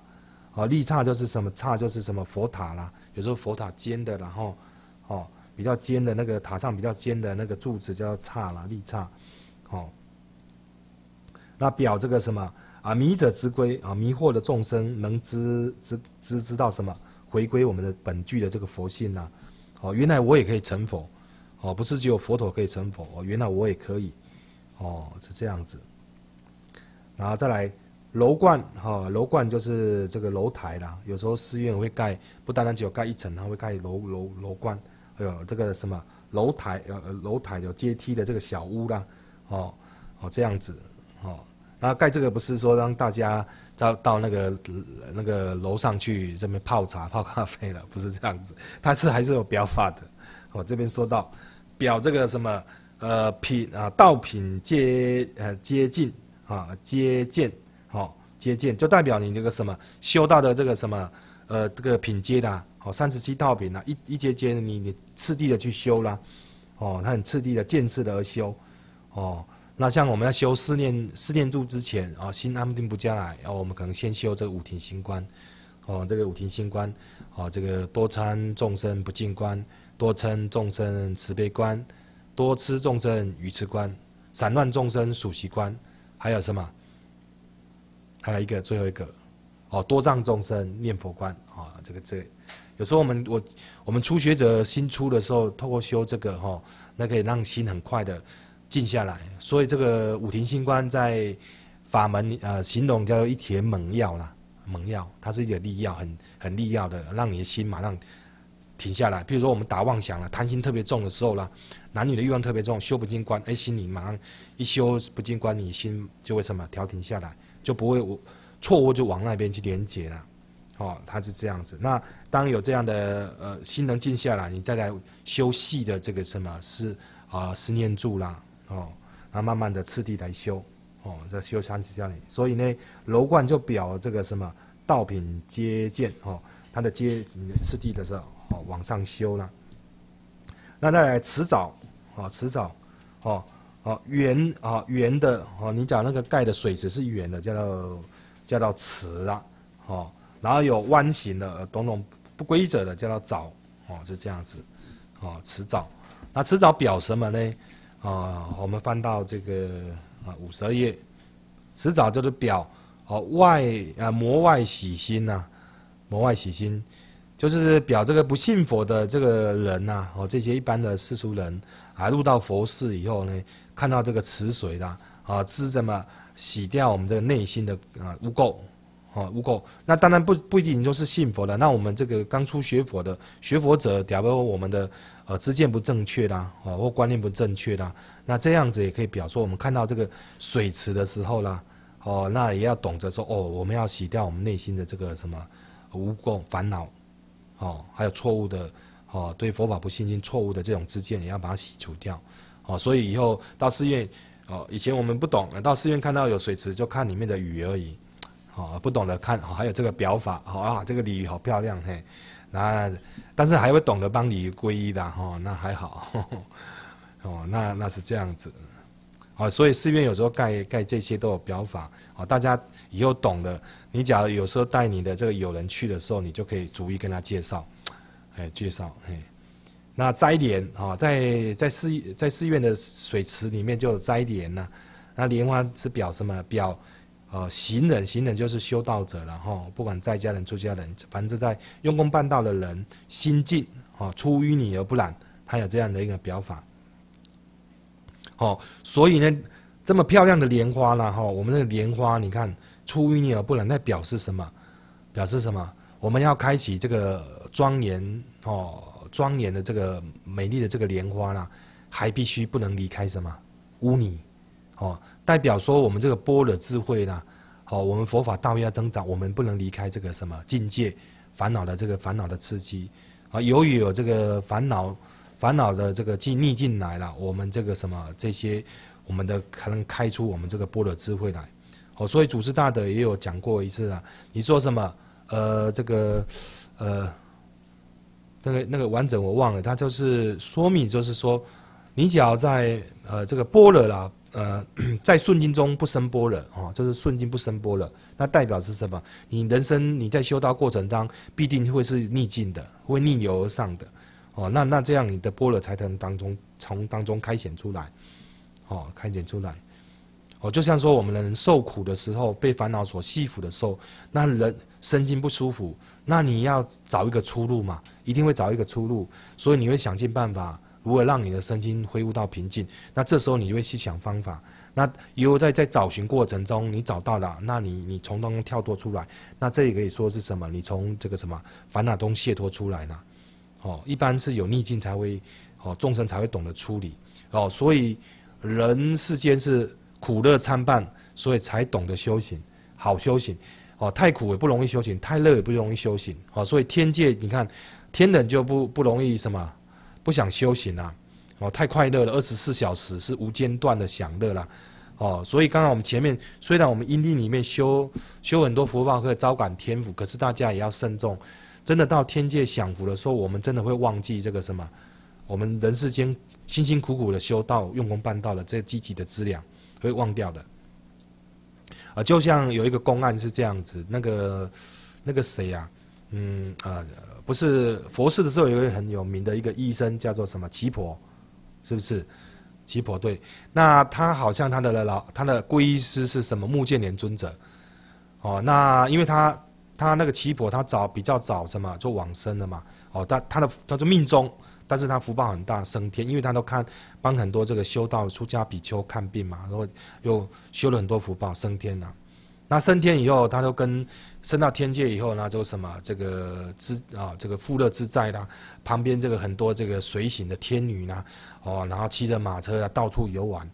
那有一次这个什么木建连尊者，因为好像不知道是他的徒弟生病啊，那一直治不好，他运用他用神通跑到天界去找他这位徒弟哦，已经升天的这位徒弟奇婆。结果奇婆看到他师傅来啊，以前在人世间。一旦看到这个啊大阿罗汉呐，哦，那居士啊就会很自诚恭敬，哦，来迎谓啊，就来到前面呐，然后来来跟合掌问讯顶礼啦。可是那时候七婆升到当天人的时候，他的福报境界是什么？他看到那个目犍连尊者大罗汉，他会嗨，师傅打个哈了，哦，然后 然后没办法，因为他他在享乐嘛，他他他最后那个好不容易，他好像他那个目犍连就可能或者用神通让他停下来，他来到面前说是。他来问你，你平常在人世间都看到我都都很很立刻都会过来，为什么在只给我打一个 hello 而已，say say hi？那那时候什么？那个他跟他师傅讲说啊，实在当天呢实在太快乐，没有心思想到师傅的事情。哦，那那这就这样一个原因呐。哦，你看那他他说跟师傅打嗨已经很好了，因为还有注意了，没有说眼眼啊，这是什么 视而不见呀呀。还会看到说哇，这才知道这是我以前人世间的师傅啦。你看当天人是这样子，哦，所以这个我们有有福报，真的是，所以真的你讲真的投身天道的时候要要慎重啦。所以我们在因地修行，你要懂得把这个资粮怎么样来回向，哎，不能离开这个烦恼哦。你要还是有境界来来什么来来来来帮助你，那你的道业容易增长，嘿。好，那这个摘点啊，表行人心境，哦，那后面还有一一还蛮多的，那我们先休息，好，下个休息。好，我们刚才讲到这个呃印法身善，哦，那我们翻到五十二页，哦，这个知识记啊主呃知主解释的，好，我们刚才讲到这个五十四五十二页的这个第一行呢，哦。那摘点表行行人心境，啊，出淤泥而不染，好，那代表我们的这个，哦，我们的菩提还是要在什么，哦，烦恼当中历练，啊，才能长出菩提，菩提觉也，啊，觉也的意思，哦，所以没有境界的刺激，哦，你不容易顺境，不容易觉悟，哦，啊，都享乐啦，哦，就会忘记啦，哦。那再往下看，好，余如比说，虚者寻之，哦，余如比说加详细的，你要再去看看那个表法啦。比说比是指什么呢？其余如那个奇环图经，哦，里面有详细的介绍，我为什么要盖这个叉，盖什么东哪边盖什么，哦，它会有解释，哦，不是随便随便画个图，哦，是这样子，它有每一个每一个方位盖什么，它都有解释，哦，所以虚者。哦，就是说，假如说，呃呃，林志律师说，你们需要的人，我这边就不多说了。哦，你们要要详细了解的人，你们可以去翻这个《奇完图经》。好，那里面的经文，像《提完图经》还在，哦，还在，还我们还很幸福，还可以去翻翻阅。那真的想要发心盖这个大道场的，哦，那这个还有一个参考的这个蓝图啦，蓝本。好，那在《大藏经》的四十五册里面有，哦，大家现在电子《大藏经》也很方便，也可以查。哦，所以虚者寻之，哦，我们现在比古人都方便多了，哦，我们要请这个专业的顾先生，哈，输入几个字就出来了，好，Google，哈，真的很方便，现在我都有说，啊，不懂了，我们找顾先生，啊，Google，是，好，我们再往小字的图经，哈，图经这个是北宋的林芝律师的解释注解的，图经就是这个奇幻图经，你看。那个唐朝佛法特别兴盛，那唐末的时候又战乱呐，哦，又到北宋，呃，那个赵匡胤，赵匡胤嘛，哈，再把它再整合起来，哈，再统一起来，好，那他说了，北宋那时候林芝律师那时候你看，途经近，哦，这代表是什么？不是近日的哈，是最近哈，好，的从日本哦将至，有两卷，代表是什么？北宋那时候政局安定下来的时候呢，这些出家人呐，哦，特别要找这个啦，然后再派使者啦，哦，到日本呐，再把这个什么这两本两卷的这个奇幻图经再请回来，那代表是什么？汉地的这个这个，哎，对，就战争啊。这个中中国这边战争就怪的，就是每次打仗就东西都烧光光，哎，那那幸好是什么？我们真的这个佛法，这个真的因缘好，哦，这个你看，哦，这个日本啊，这个那时候的僧人来到，他们很辛苦，遣唐使啊来到汉地，这个学习唐朝的文化，不管文字，不管这个艺术、佛法这种种的，他们学，他们都十个遣唐，比如十趟，可能回去只有两趟。哦，因为日本当然当时的呃造船技术还有航行不那么好，所以而且东亚这边常常台风，哦，就像那个你们有机会看那个鉴真大和尚、鉴真律师，你看他到日本呢是去几次啊？是，哎呀，啊每次去都遇台风啊，最严重有一次被飘到什么海南岛，从广州那边再走回那个扬州，哇，那个真的是，然后最后搞到最后他。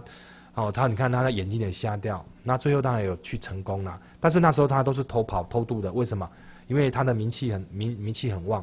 啊，唐唐朝的那时候的国家不让他出去，哦，这个有修行的这个出家人不需不让他走，哦，一般都会国有国家都会比较私心，啊，认为有有修行的在这个国家，啊，这国家会安定，哦，他是这样不放他走，啊日他那个鉴证大师是因为日本的僧人勤呐。哦，说日本没有传传戒，而且天皇他们要想要受菩萨戒，哦，所以他发起悲心要去度，哦，要把佛法戒法传到日本去，哦，那像还有什么空海大师啦，哦，那个那个所谓的那唐密，最后就是有空传法从那空海大师传到日本去，哦，那日本的这个文字平假名跟片假名也是当时空海大师他创的，哦，你看这个一创来文化几千年。都日本人很好，就是他们不会把这个文化破坏掉，说这不是我国家的就把它毁坏掉，不会，他们会很珍惜这个地方。而反而是哦，我们的汉地可能汉这个什么大陆这边，因为接连了很多国家嘛，日本是有隔海啊，所以要战乱啊，有其他国家来不懂啊，就把它烧，都把它烧光，哦，都都这样子，哦，战乱了，那战乱没得吃，这东西都不值钱，取暖哦，当当火柴柴火烧。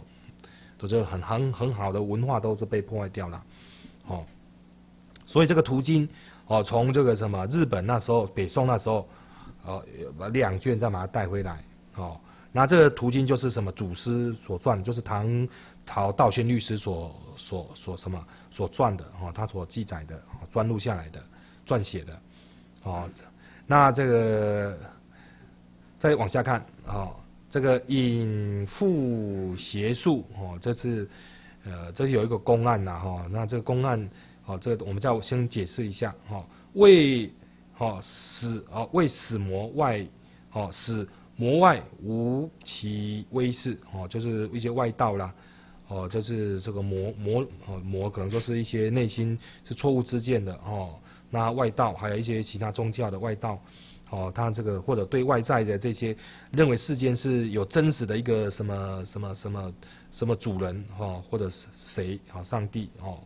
这样子的有真实的一个哦，说是人都是谁造造的哦，那佛法不这么说哦，不这么说哦，让让让他们这些外道啦，不同宗教的人呢，哦，他的没有他威势哦，这样子，这是知主的解释啦，哦。他他他他用意义去表示这个隐覆邪术，就是一种一种形容，形容说佛法的这个什么，佛法的兴盛，佛法的道理呢，能这个让这个外道的这个错误的知见呐，啊无所遁形呐，他他等于说他解释他的知见都是错误的，哦佛法的知见才是佛陀所讲的这个智慧的，才是最圆满，道理才是最圆满的，哦所以他有这样的一个意思的，哦隐犹如什么蔽也，就遮蔽啦，遮蔽。遮蔽外道的这种知见呐，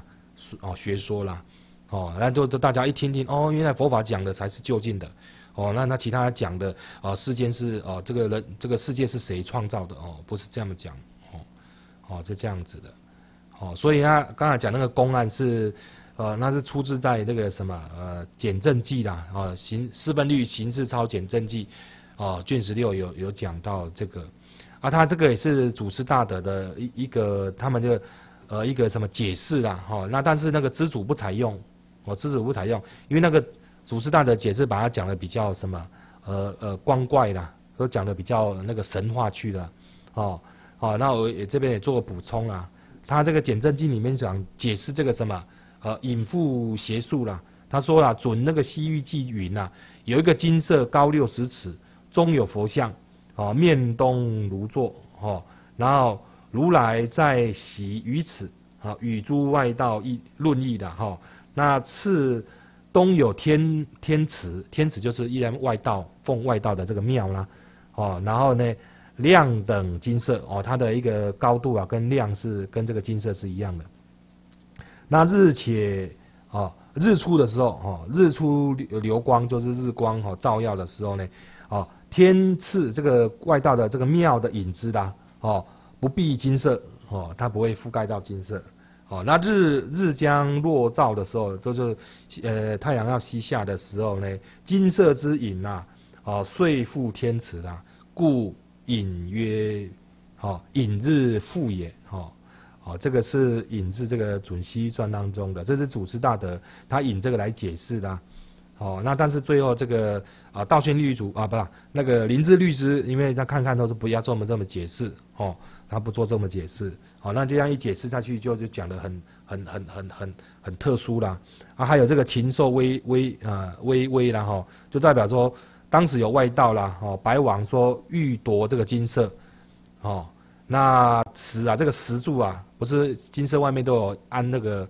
哦那两个石狮子嘛，哦，那这突然这个石狮子啊，突然突然间咆哮了，轰一声啊，那这个士兵皆散，哦，那这个有这个记载这样子。但是因为这讲的比较好像比较有点比较夸大了哈，那这个所以那个什么呃道宣律师啊不林志律师他都不采用，他就用说什么这个隐覆邪术就是一种譬喻的，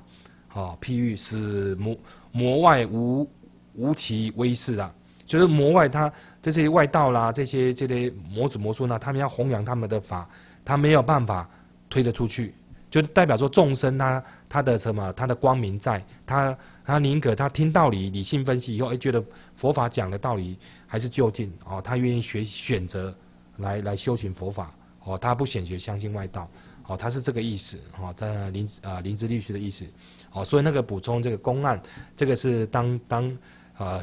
呃其他祖师的解释啦哦，那啊就像看小说一样也不错了哈啊听起来蛮蛮特殊的。哦，那这个参考就好。好，那我们还是看我们这个还是以林志律师的解释好。好，那这个禽兽畏威，哈，好这边你看林志律师的解释，未令异类不敢侵犯呐。哦，异类就是其他的这些啊禽兽啦，他不敢来这个寺院随随便便的。哦，那可能或者寺院有做这类围墙呐，然后又有人呐。啊，人多啦哦，那这个楼阁这个时候都人在动。你假如一个金色一个寺院荒芜了，那自然就这些禽兽野兽就会进去嘛。那这个里面盖的啊呃人气又旺呢，修行哦，那当然这些其他异类的这畜生就不敢来了。哦，那这样解释也比较比较比较合乎这个什么哦这个道理哦。那还有这个隐仪哦，形影哦，影印哦，为相色可观。哦，相色可观，就是这些相，哦，在寺院里面的这种种的一个什么安的，不管任何的植树啦、历史啦、土台啦、楼阁啦，哦，这种诗色啦，这些相貌可观，哦，哦，可观就是可以呢，让我们什么，哦，去去我们说观赏，然后并且去了解它那个里面的观察它里面的含义啦，哦，相当内容相当丰富啦，哦，可观的相当有内容，不单单只有。只有说这个看一看就走过哦，原来它的表法都有内涵都相当丰富哦，可可观。那唯是清养哦，唯是清养及世俗哈世哈世俗啦哈世就是一些有学问的这个士大夫啦，哦那俗就是可能这些一平民百姓呐哦世俗生善哦，就是表示说我们寺院只要盖的如法啦，维持清养。哦，刚才刚才有同学哈，他有讲，师姐有讲，哦，其他现在我们台湾哦，现在的寺院也可能没办法这样盖，哦，当然有一些有一些金色或者一些寺啊，在都市里面的，它盖的是楼层的，但是它的施设也是什么，也也相当考究，哦，虽然没有跟这个图经里面的施设是一样，但是他也透过这个施设接引一些其他还没学佛者，哦，那那他也用的很雅俗。哦，或者让人家来对佛法有不同的呃看法跟好的看法，那也可以的。好，让主要重点就是啥，为世俗生善呐。那刚才另外这个我们讲的哦，这个是呃主要呃这个有根据的讲的寺院的盖法，主要它是要让寺院什么久久固嘛，要让寺院无所坏，要代表这个寺院道场要能长长久久了，一一百年、一千年这样注释的话。那需要就非得有僧人住持，那有僧人住持，它里面的这个相关的这些设设施，还是要依照这个呃《奇缘图经》哈这个的这个法度来做是比较好，哎比较好，哎，哦，所以有两种方法了哈。那刚才讲的那个哦，现代应用现代的哦，那小单位的这样的一种接引，哦接引众生哦也是一种。那另外这种是正式的这种大道场，哦。那也来到这边的居士，他们呃准备要进入佛门啦。那来跟他介绍哦，原来佛法真的是啊色相色可观呐，哦种种的建筑它都有它的表法意涵在，哦意涵在，那这样因为世俗我们总是有这样子嘛。假如说今天我学佛，诶佛法内涵是这么丰富，那我们学佛，我好像就是说怎么讲啊？假如说你的老师。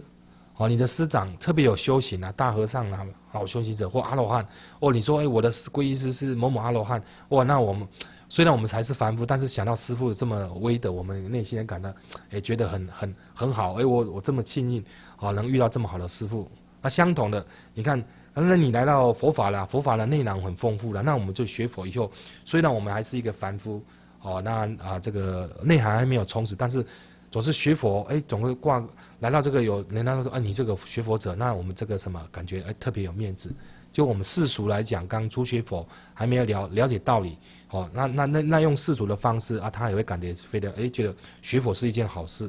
会让我特别有这个什么，呃，有内涵，哦，那让人家说外人看到说，哦，你是学佛，那代表你很有内涵，哦。啊，让我们听着这个刚初学的人也会觉得，哎，内心也蛮蛮满足的，哦，蛮蛮肯定的这样子，哦，这就用世俗的角度来看呐，哦，那当然久修了以后，哦，你这一层你也要慢慢的透过修习佛法以后，你也要把这一层放掉，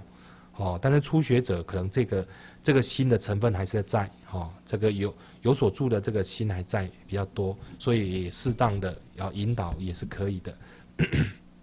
好，那我们再看这个小字的部分，哦，哦，这个支持，哦，支持助云，哦，图经等，哦，这是图经，宋时，哦，宋朝，这是洪公解释的嘛，哈，宋时由日本鸡环，哦，鸡啊，这个这念机，哈，我比较不常见的字，鸡环，一声鸡，哈，就代表宋，宋环，就就。就等于就把从日本再送回来就对了啊。其实我们这个是用汉人，代表是我们再去把它请回来了，这样比较好了。哦，请回来哦，因为那个当时宋朝已经找不到这个这本图经了。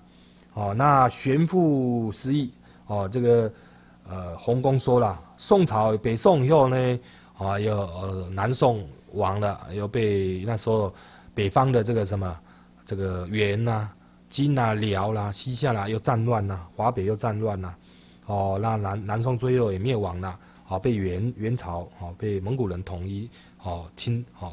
统一了，哦被蒙古占领了，哦宋朝就灭亡了。那大时候战乱嘛，所以这些相关的这些书籍的哦图经啊，又再一次的什么遗失的，全部遗失遗失遗哈失声遗，就是在失去了。那金啊，金就指的啊，洪公是在民国中华民国那个民国年间呢，哦，啊，再由日本请归，哦，再由日本再次再向从日本那边哦，再把这个图经啊再请回来，然后这时候呢，这个洪公住宅说由南呃那个什么天津科经处刊本，哦，当时在大陆那时候的还中华民国在的时候，哈，那个大陆那边还在那时候叫天津科经处，哦，它有刊版，安民齐齐桓氏图经，哦，齐桓氏图经，好，与戒坛图经合为一册，哦，所以这个还是有流传下来的，好流，所以这个还很庆幸呐，我们还很庆幸。你看，你只要一战乱，很很多东西都会都会失去的，哦，所以能希望是什么？啊，这个众生有善根有福报啦，还是莫要战乱好，哦，莫要战乱好，哦，哦，这个是啊，代表我们是很幸福的一群呐。你看，都还可以见得到这些啊，当时啊失去的这些资料啦，哦，这些哦祖师大德很多都看不到啊，我们现在还能看得到。好，这个是这个部分，好，我们把它讲过。那我们再往下看第二节，无法自损，哦，就没有法度导致该事没有法度啦，而 导致什么？导致损失啊，损掉什么？一些众生的这个利益啦，哦，生善的利益哈。那无法自损当中分成三项加以讨论，好，第一个是造利非法，啊，造利造寺院的方法是不如法的情况，就是。没有依照这个途途经的的这哦这个藏经里面这个什么啊奇幻途经的这个法度去造啦，哦，或者刚才讲的哦，一般变通的方法接引众生现代嘛哦，因为现在都是楼层的哦，不能可能不可能像古时候这样这么大的地去盖寺院，不可能哦，那那那那就是变通的方法哦，那一般你啊真的要盖这个比较大的寺院正规的这寺院啊，那还是要依照这个什么。啊，这个途经来来盖是好，那这个什么再来啊？藤啊，藤见毁坏，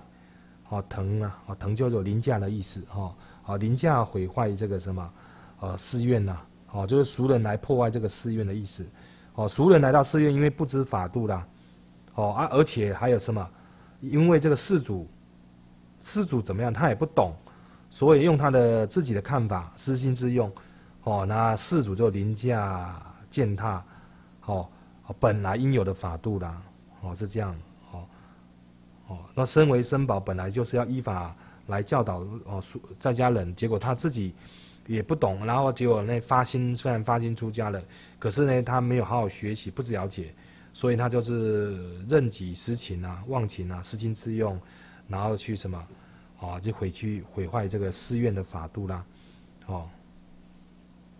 那第三个就是什么引劝俗流哈，它里面内容说明到是什么？哦，引经来劝告这个世俗人哈，要什么样？啊远远什么？远此此流远远远远此流此流指的就不如法的哈，非法的哈，无法的哦这样的一个这样的一个情况，就是指的是什么？啊造事不如法的人呐，哦或者说这个寺院的这个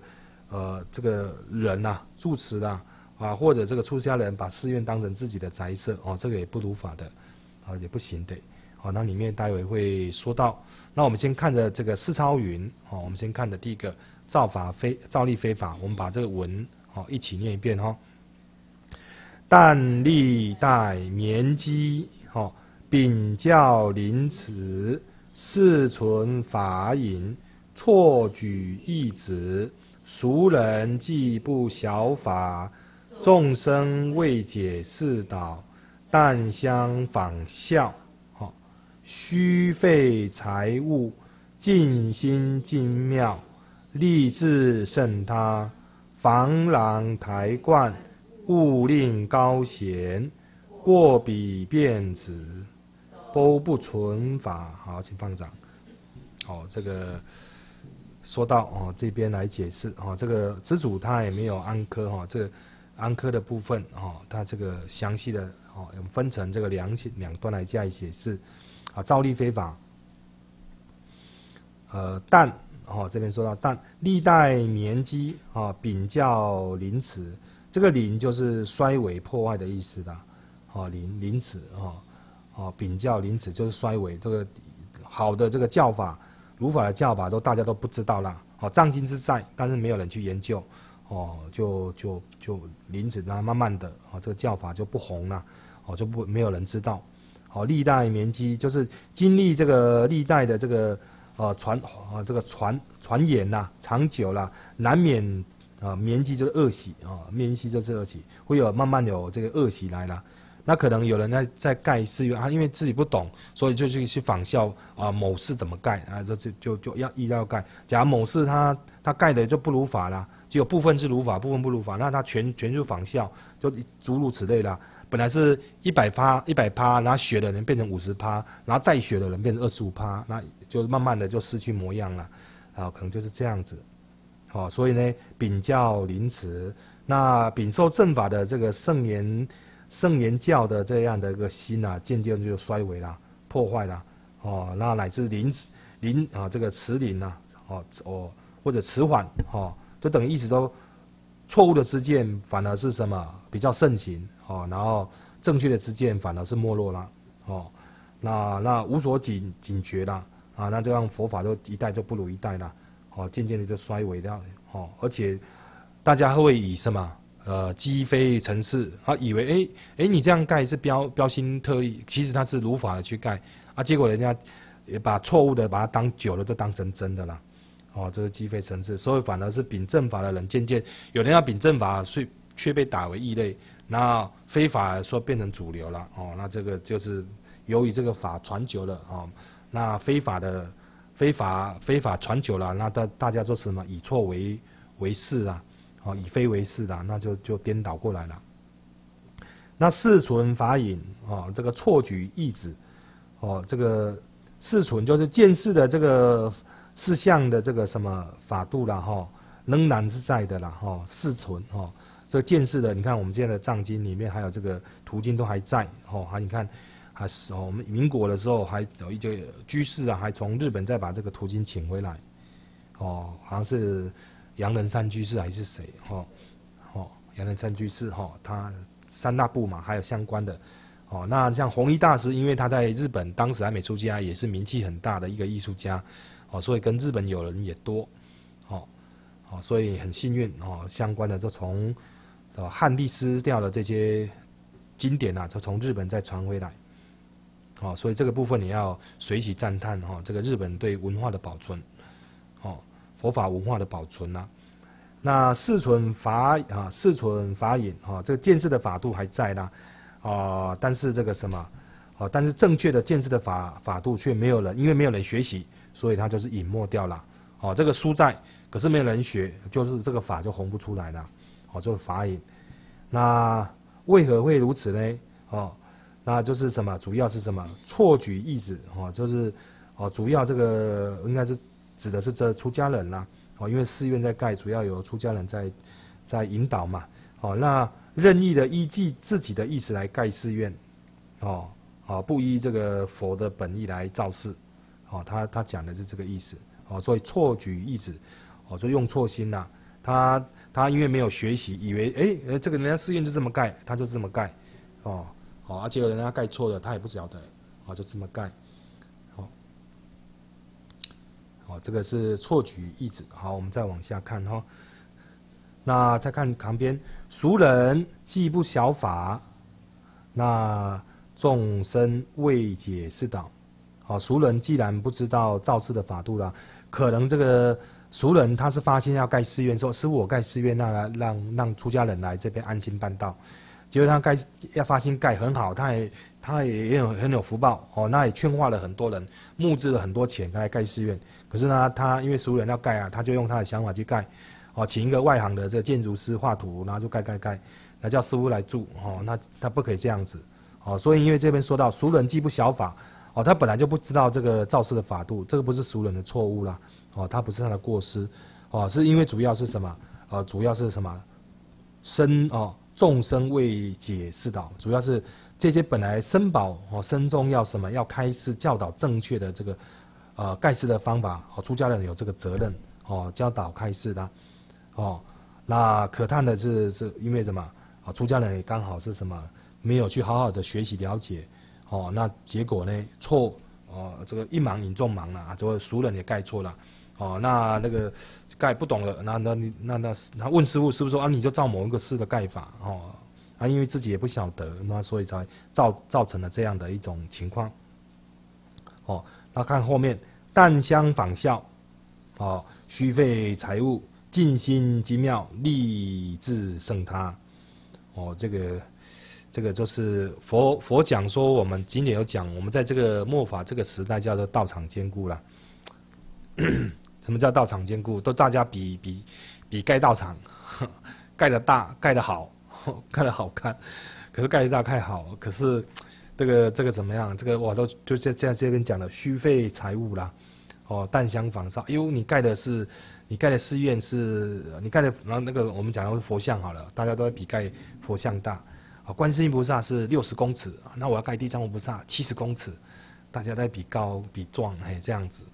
都这样这样子就很可惜的，啊，淡香仿效，所以这末法的修行者，末法的佛教徒就是这样子，好，或者经典佛陀也有也有预言呐，哦，所以道场坚固了，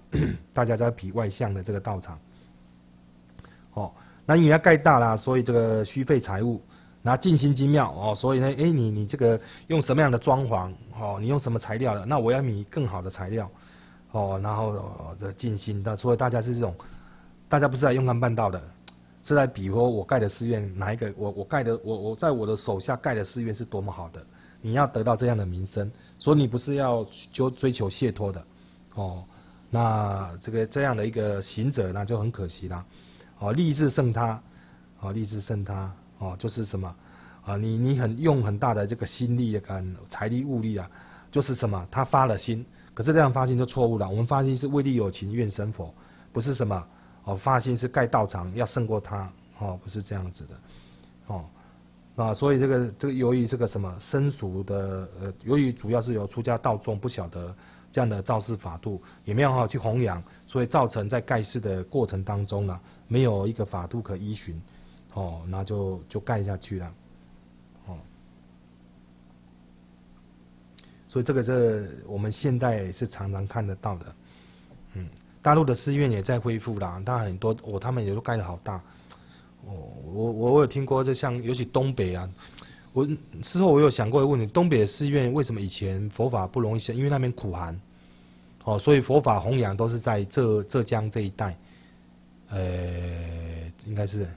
对，上海啦、苏州哈，就是华中这华中以南这一带，哦，因为气候比较适当。那华北，尤其在在那个什么东北那边太。呃，它有时候冬天将近要半年的时间下雪，所以不容易。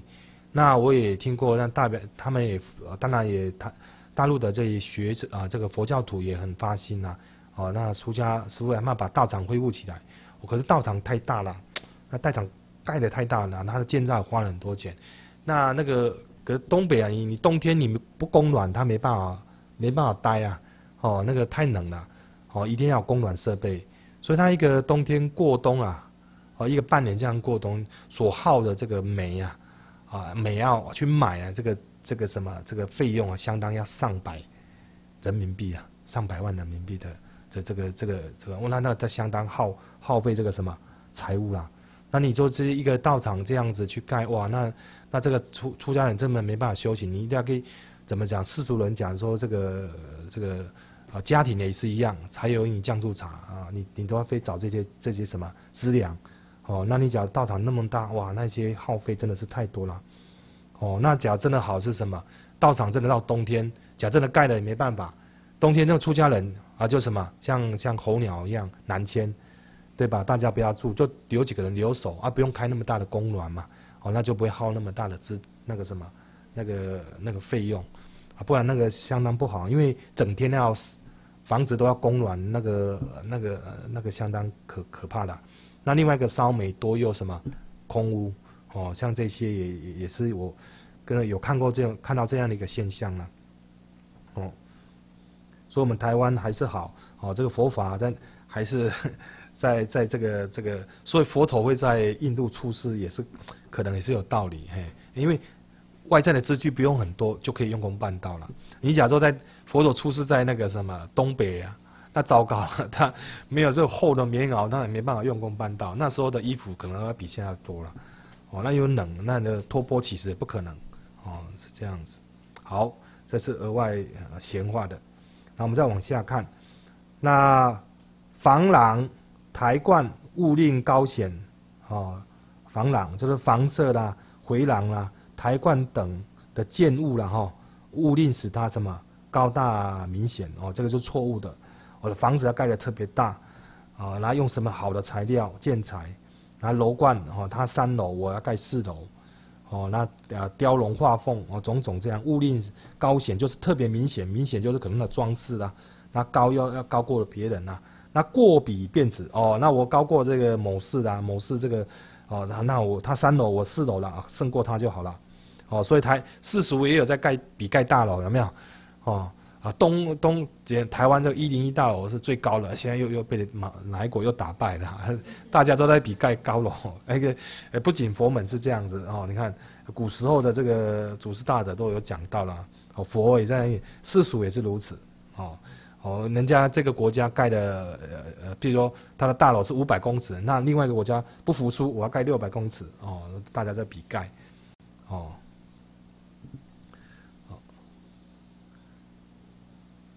哦，所以这个都不存法哈，说都没有依存这个正确的造势的方法，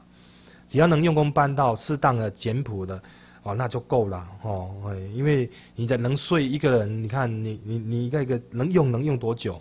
哦，那你你假如盖那么要花费比那些你光光这些修缮维护啊，那都吓人呐。哦，那那相当吓人哦。哎，那尤其现在的。哦，这个我我们讲整个经济状况不好的时候，那真的不容易的，真的是相当不容易。哦，所以我们还是你看，盖这个依照这个法度来盖，嘿，譬如有多少人就盖多少。哦，那那你有预留的空余，未来有规划好，那我能力多少，我只能譬如说现在只有几个人，哦，十几个人啊，这出家人，那我我我有完整的地，我规划好以后，那我先盖某一个部分，那只要能用功办到，那未来有因缘呐。啊，人多了，然后再慢慢的扩展，好是这样，不是一次要把它盖好，是慢慢你先规划好，哦，规划好，那能用功办到就好了，哦，不要再比这个一规划好，马上要先找那个局资，然后我这个建筑特色也要找最有名的这个设计家来啊，建筑师来设计，哦，那这样子都花费很多的财力物力啦，哦，很可惜，嗯，啊，真的后，哦，见识容易，啊，那后面的呢什么，哦。更不容易。古有一句话叫什么？建那个创业维艰，然后什么？还有一个什么？守业更更更哦，守哦，对，古时候有这句话成语啦。哦，说创业维艰，然后那个守守守成哦，成哦，守成不易哦，更更不容易啦。哦，这个古时候有这样，其实也有道理，哎，也有道理。哦，所以说，假如说今天有人要送事。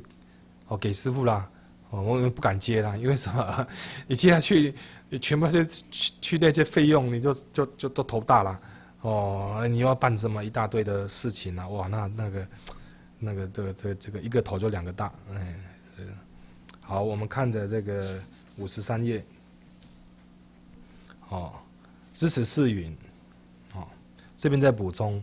就是早期，因为台湾复苏的时候，有人就是发心盖世，然后盖世就给别要要要给人家用，结果他盖盖世就是一样没法度，然后阿多都照他的方式去盖的稀里糊涂的，然后去接的人也很难管理，哦，这个都都也是错误的。他发好心呐，可是真的是我们真的好心还是要有智慧哦，不能不能这个这个一昧的好心而已，哦，就不考虑掉其他的，哦，要先了解道理再来做会比较好。哦，所以我们修行解行，哦，这个弘功的意思也是这样。弘一大师也有说到，就是我们修行不一定要马上从行门马上就要一直冲，不是？你要先把路子弄对，就是把这个道路啊，修行的道路弄懂、弄清楚了，你再走都还不慢。哦，所以解先你要先了解道理，哦，修行路怎么走，然后再来，而不要一下子就是什么埋着头，就是道理都搞不懂了就冲了。哦，就像说我们走路啦。哦，这古了古祖师大的譬喻说什么木主木主对吧？啊，节就像木，然后那个行就像主。那你讲没有眼睛呐，就像瞎子一样，你一乱走，那可能会掉到水沟去啊。哦，所以还是要先把这个什么解哦修行的道路怎么走，怎么怎么做弄清楚，然后不是说是不是说解就是解啊，然后你行都不行，不是在解当中解大大部分，然后行只是少部分，然后慢慢的等解。路子弄清楚了，慢慢的再再什么再下加大那个力道，这样子，哦，加大他那个呃行门的那个力道，这样才好。那其实行门就是什么叫行？除了在佛堂用功是一个方法啊，初学者啊也也需要这样的一个锻炼共修啦，然后在一个特定的地方，那慢慢时间久了，你还是要立缘对性啊，你还是要什么？你的日常生活不可能永远待在佛堂，哦，你面对人事你还是要处理哦。最后的这个行就是落实在你六根促进日常生活六根促进当中，你可以把你学习到的解当中的佛法的道理。运用出来，诶，这时候我促进的时候，我迷不迷？还是我用我错误的知见？还是遇到起烦恼的时候，我懂得诶，用把佛法的这个什么呃关照的道理提拿出来用，然后体会佛法讲的诶，烦恼无自性，那这样才是什么行的部分呢？哦，不是单单只有在佛堂用功，除了佛堂就不用功，也不是这样子。哦，那那说诶，那师傅这么讲，那佛堂就不要啦？不是，这这都需要的，它是有个过程哦，不能不能因噎废食的。哦，那也要懂得这个完整的这样的一个修行方式，那这样才好，才还可以，才可以让大家在处事的时候不会勉强，就是遇到事情的时候才不会啊不懂不懂怎么做哦。所以解还是要初学，还是要从解多多了解一些哦，道理了解懂了以后再去做会比较好。哦，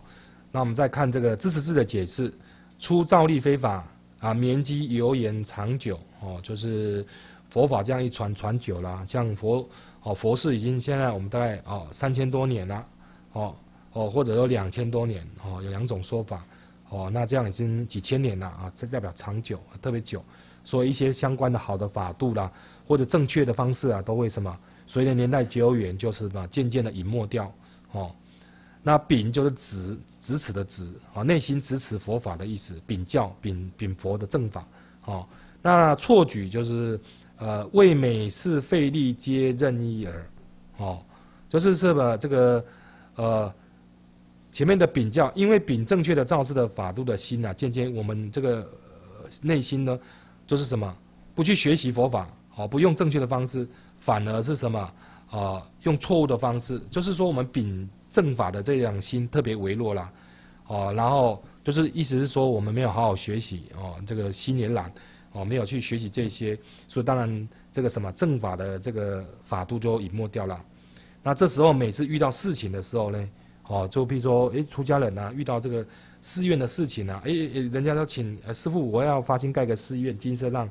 呃，出家人用功办到。这时候呢，诶，哇，糟糕了，因为没有学习，不懂，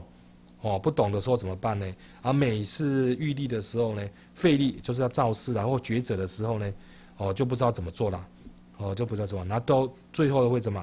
都是什么随任哈，随任自己的心意来什么来造，啊，不依正确的法度，明明这个法度是有，是在藏经藏经楼的这个藏经里面，那没有去好好的去什么去研究，那反而是遇事的马上要做，哎，就就随便的依照自己的想法，哦，私心自用啊，哦，每次费力，哦，废就是要废除的时候，啊，记忆就要建立的时候，就是做任何决断的时候呢，因为你没有。决断任何佛法在生死要决断的时候，还是要有一个依准，不是随便随便的做的哈，决定的哈。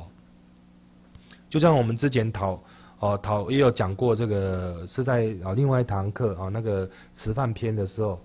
哦他也有讲到那个呃这个好四主好心护用三宝哦，就是那种费力的时候，他因为不懂哦佛物不能拿来生物用，他是护用，他当然也是好心啊，但是他不懂。哦，他不懂这个是不可以的，佛陀说是不可以的。哦，那因为是没有学习，才会有造成这种，哦，这个费力的时候呢，哦，他不知道怎么决断，然后就任意自己的，哦，就随着自己的意思去做了，那就不好。那仿效为，哦，护喜而风，护喜风，哦，这个也是我们现代哦末法常常发生的事情了，就是因为灭绝，哎，啊，这个某寺已经盖很久了，那那他盖的方式可能就是。哦，就是不错，然后以为这是正确的方法，啊，其实是错误了。然后互习而风，哦，大家互相学习的，哎，他是盖的这个寺院呢，哎，不错，哦，合我的意，哦，其实他是不合这个法度的，哦，那就照这个方式仿下去盖了，形成而风，错误的风气啦，哦，错误的风气。哦，这个仿效效这个古字的效啦，跟这样的效法的效是一样的意思，哈，哦，同同同样的一个意思，仿效。那尽心啊，为这个斗尽为怀，就是胜负心呐。简单说就是胜负心、比较心，哦，就是说哦，我们这个佛教徒出来来学佛是主要是为了解脱，让我们更有这个觉性呐，哦，不是不是来比这个什么，比这个你你你你盖的寺院多多大，或或者你的用功多。哦，数量多多哦，大家不是在这个外向这边比较胜负心，那你假用这种比较心去修修行啊，都是错误的哦。这个不会不会跟法相应哦。那个谁啊，在有一个公案，那个是安息王啊，当时安安世高还是谁？安安息国有一个王子，他跟他的他是当时安息国的王子来出家啊，他有一个大师兄也是出家，持戒特别精严。可是他他那个大师兄是什么？呃，他持戒很好，可是他的嗔恨心很大，看到人家持戒不好就骂人家，哦，就就批评人家。最后他这个什么，他这个大宗师因为常常这样子嘛，内心有这个愤愤不平这样的心，所以他很早就过世了。那过世，那这个他的师弟啦，他不知道忘忘了他的法不是哪一个大哪一个我们的祖师大德忘了，他就来到汉地。那汉地最后来到洞庭湖那边啊，那洞庭湖常发生一件事，有在有有有一个人家盖个寺庙祠啊祠，就供奉那个什么类似那个神明的，呃，因为长南那边会有一只，大家都是晚，为什么有大，我会兴风作浪嘛，所以盖个祠来供奉，而且那个那那那个蛇那个那个角龙啊，就是那个谁他大师兄投胎的，当那个龙，那有一次那个谁他的师弟呃那个。很很常规，我忘了他的那大师的名字叫什么。他来到这个地方油画的时候啊，他在坐船的时候，啊，那个什么，人家说那个是那个词啊，那个神神明的那个祠堂特别的灵感。那这时候来的时候一样是兴风作浪。那那个什么，最后那个龙啊，哦，那个安那个行者那个不知道那个大师我忘了哦，他那个比较，他就来到这个祠堂，他也知道，因为他有他有他也有他心通，他知道他过去生他的师师师兄。他来的时候就跟他师兄说法了，由于你要过去的这种胜负心、比较心，还有这种嗔恨心呐，所以你辛勤辛苦的修行，把所有的资粮变成一只大大蟒蛇，哦，当当畜生，转身当畜生大蟒蛇，那很可惜啊。他他那个脚，他那个他也知道，他因为用功他也有一些神通道力嘛，有人共事他，所以他有福报，所以他也知道他是他的师弟，他也来啊跟他皈依，皈依以后，最后那个什么，那那只什么？皈依完以后不用多久，那个大蛇就死掉。听说那个那个那个蛇的那个身体啊，那个当时那个注解里面说这叫鱼鱼线，是不是？那个蛇的身体呀，绵延数十公里啊，数十公里，哎，那死掉嘛，死掉它现形以后，那数十公里，哦，在在传记有记记载这个公案，不知道是安世高是安世高吗？还是我忘了？哦，他有这样一个记载，哦，下次我回去找一下，下次再跟大家再补充。哦，也有这样子，就是说他那个师兄，你看他这样修行，他是用这种胜负心去修行，最后招感的果报，哇，这这当成这么当成这个蟒蛇了，那就大大大蟒蛇大或者龙角蛇这种的，很可惜。再来励志哦，就是什么竭力用意竭力用意的哈，就代表他很很很很尽心竭力的，可是他这个尽心竭力用错方向哈，本来立志是很好的。哦，然后这个不是用在这个用功办道上，他是在用在比较心，比较我的道场盖的比你好，哦，这样子。高显即这个，哦，哦，附，哦，福，哈，哦，附，附近，哦，附近及附近庙之心呐，哈，进庙之心，哈，进庙之心，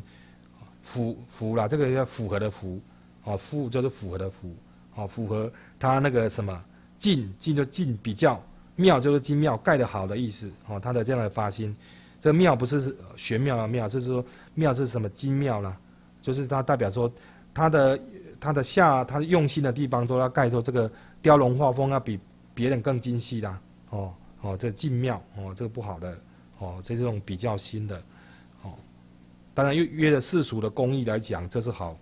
哦，它的工艺特别好，可是觉得我们这个盖道场不需要做到这样子，哦。那过比，乃称乃称胜他之志了，哦，就是说代表说我已经比过他了，哦，我今天今天哦，我今天发心盖的道场就要比比我的谁哦哪一个师兄弟盖的更好哦，那这样子称胜他，哦，那发生的心不好，哦，这个不可以当成志向哦，只这个志向这种儿风哦哦，这边讲了不要去仿效了才好，哦，这无法自损，哦，所以大家反而是在事项上在在盖道场，反而没有在用功办道，哦哦，没有在这个讲说佛法，那就很可惜了。好，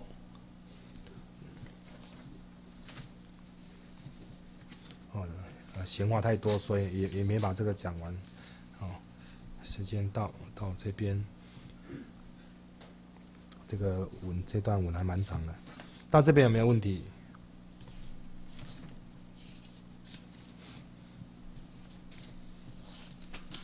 下礼拜，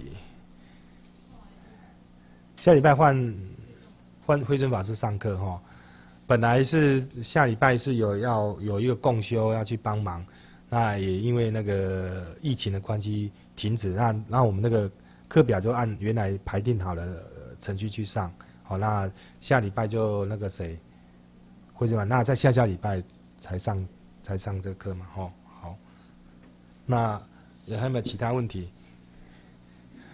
诸位也要这段时间也要多照顾身体啊，因为在。哦，这阵子大家台湾也是人心惶惶，这个疫情，哦，疫情你要多留意嘿，啊，大家互相共勉啊，哦，这个，哦，师傅也会害怕了嘿，虽然在休息呢，但是我们还是，所以跟讲这个道力还不够，还是会怕死哦，这个这个心还是会有挂碍的，哦，那但是但是我们总把身体照顾好，不要让身体影响到这个心也是的哈，适当的把身体调好，哎，这个是。不能说是身健哈，哎，因为没有这个身体也出状况了，那可能假如说我有状况，那也感染到大家，那这个也是很大的过失，也不好，哦，是这样子，所以大家都彼此都互相，哦，把身体照顾好，哦，那才有这个精神体力来什么学习佛法。好，那假没有问题，我们今天的课程就到这边，好，那向下文场大家来一直回向。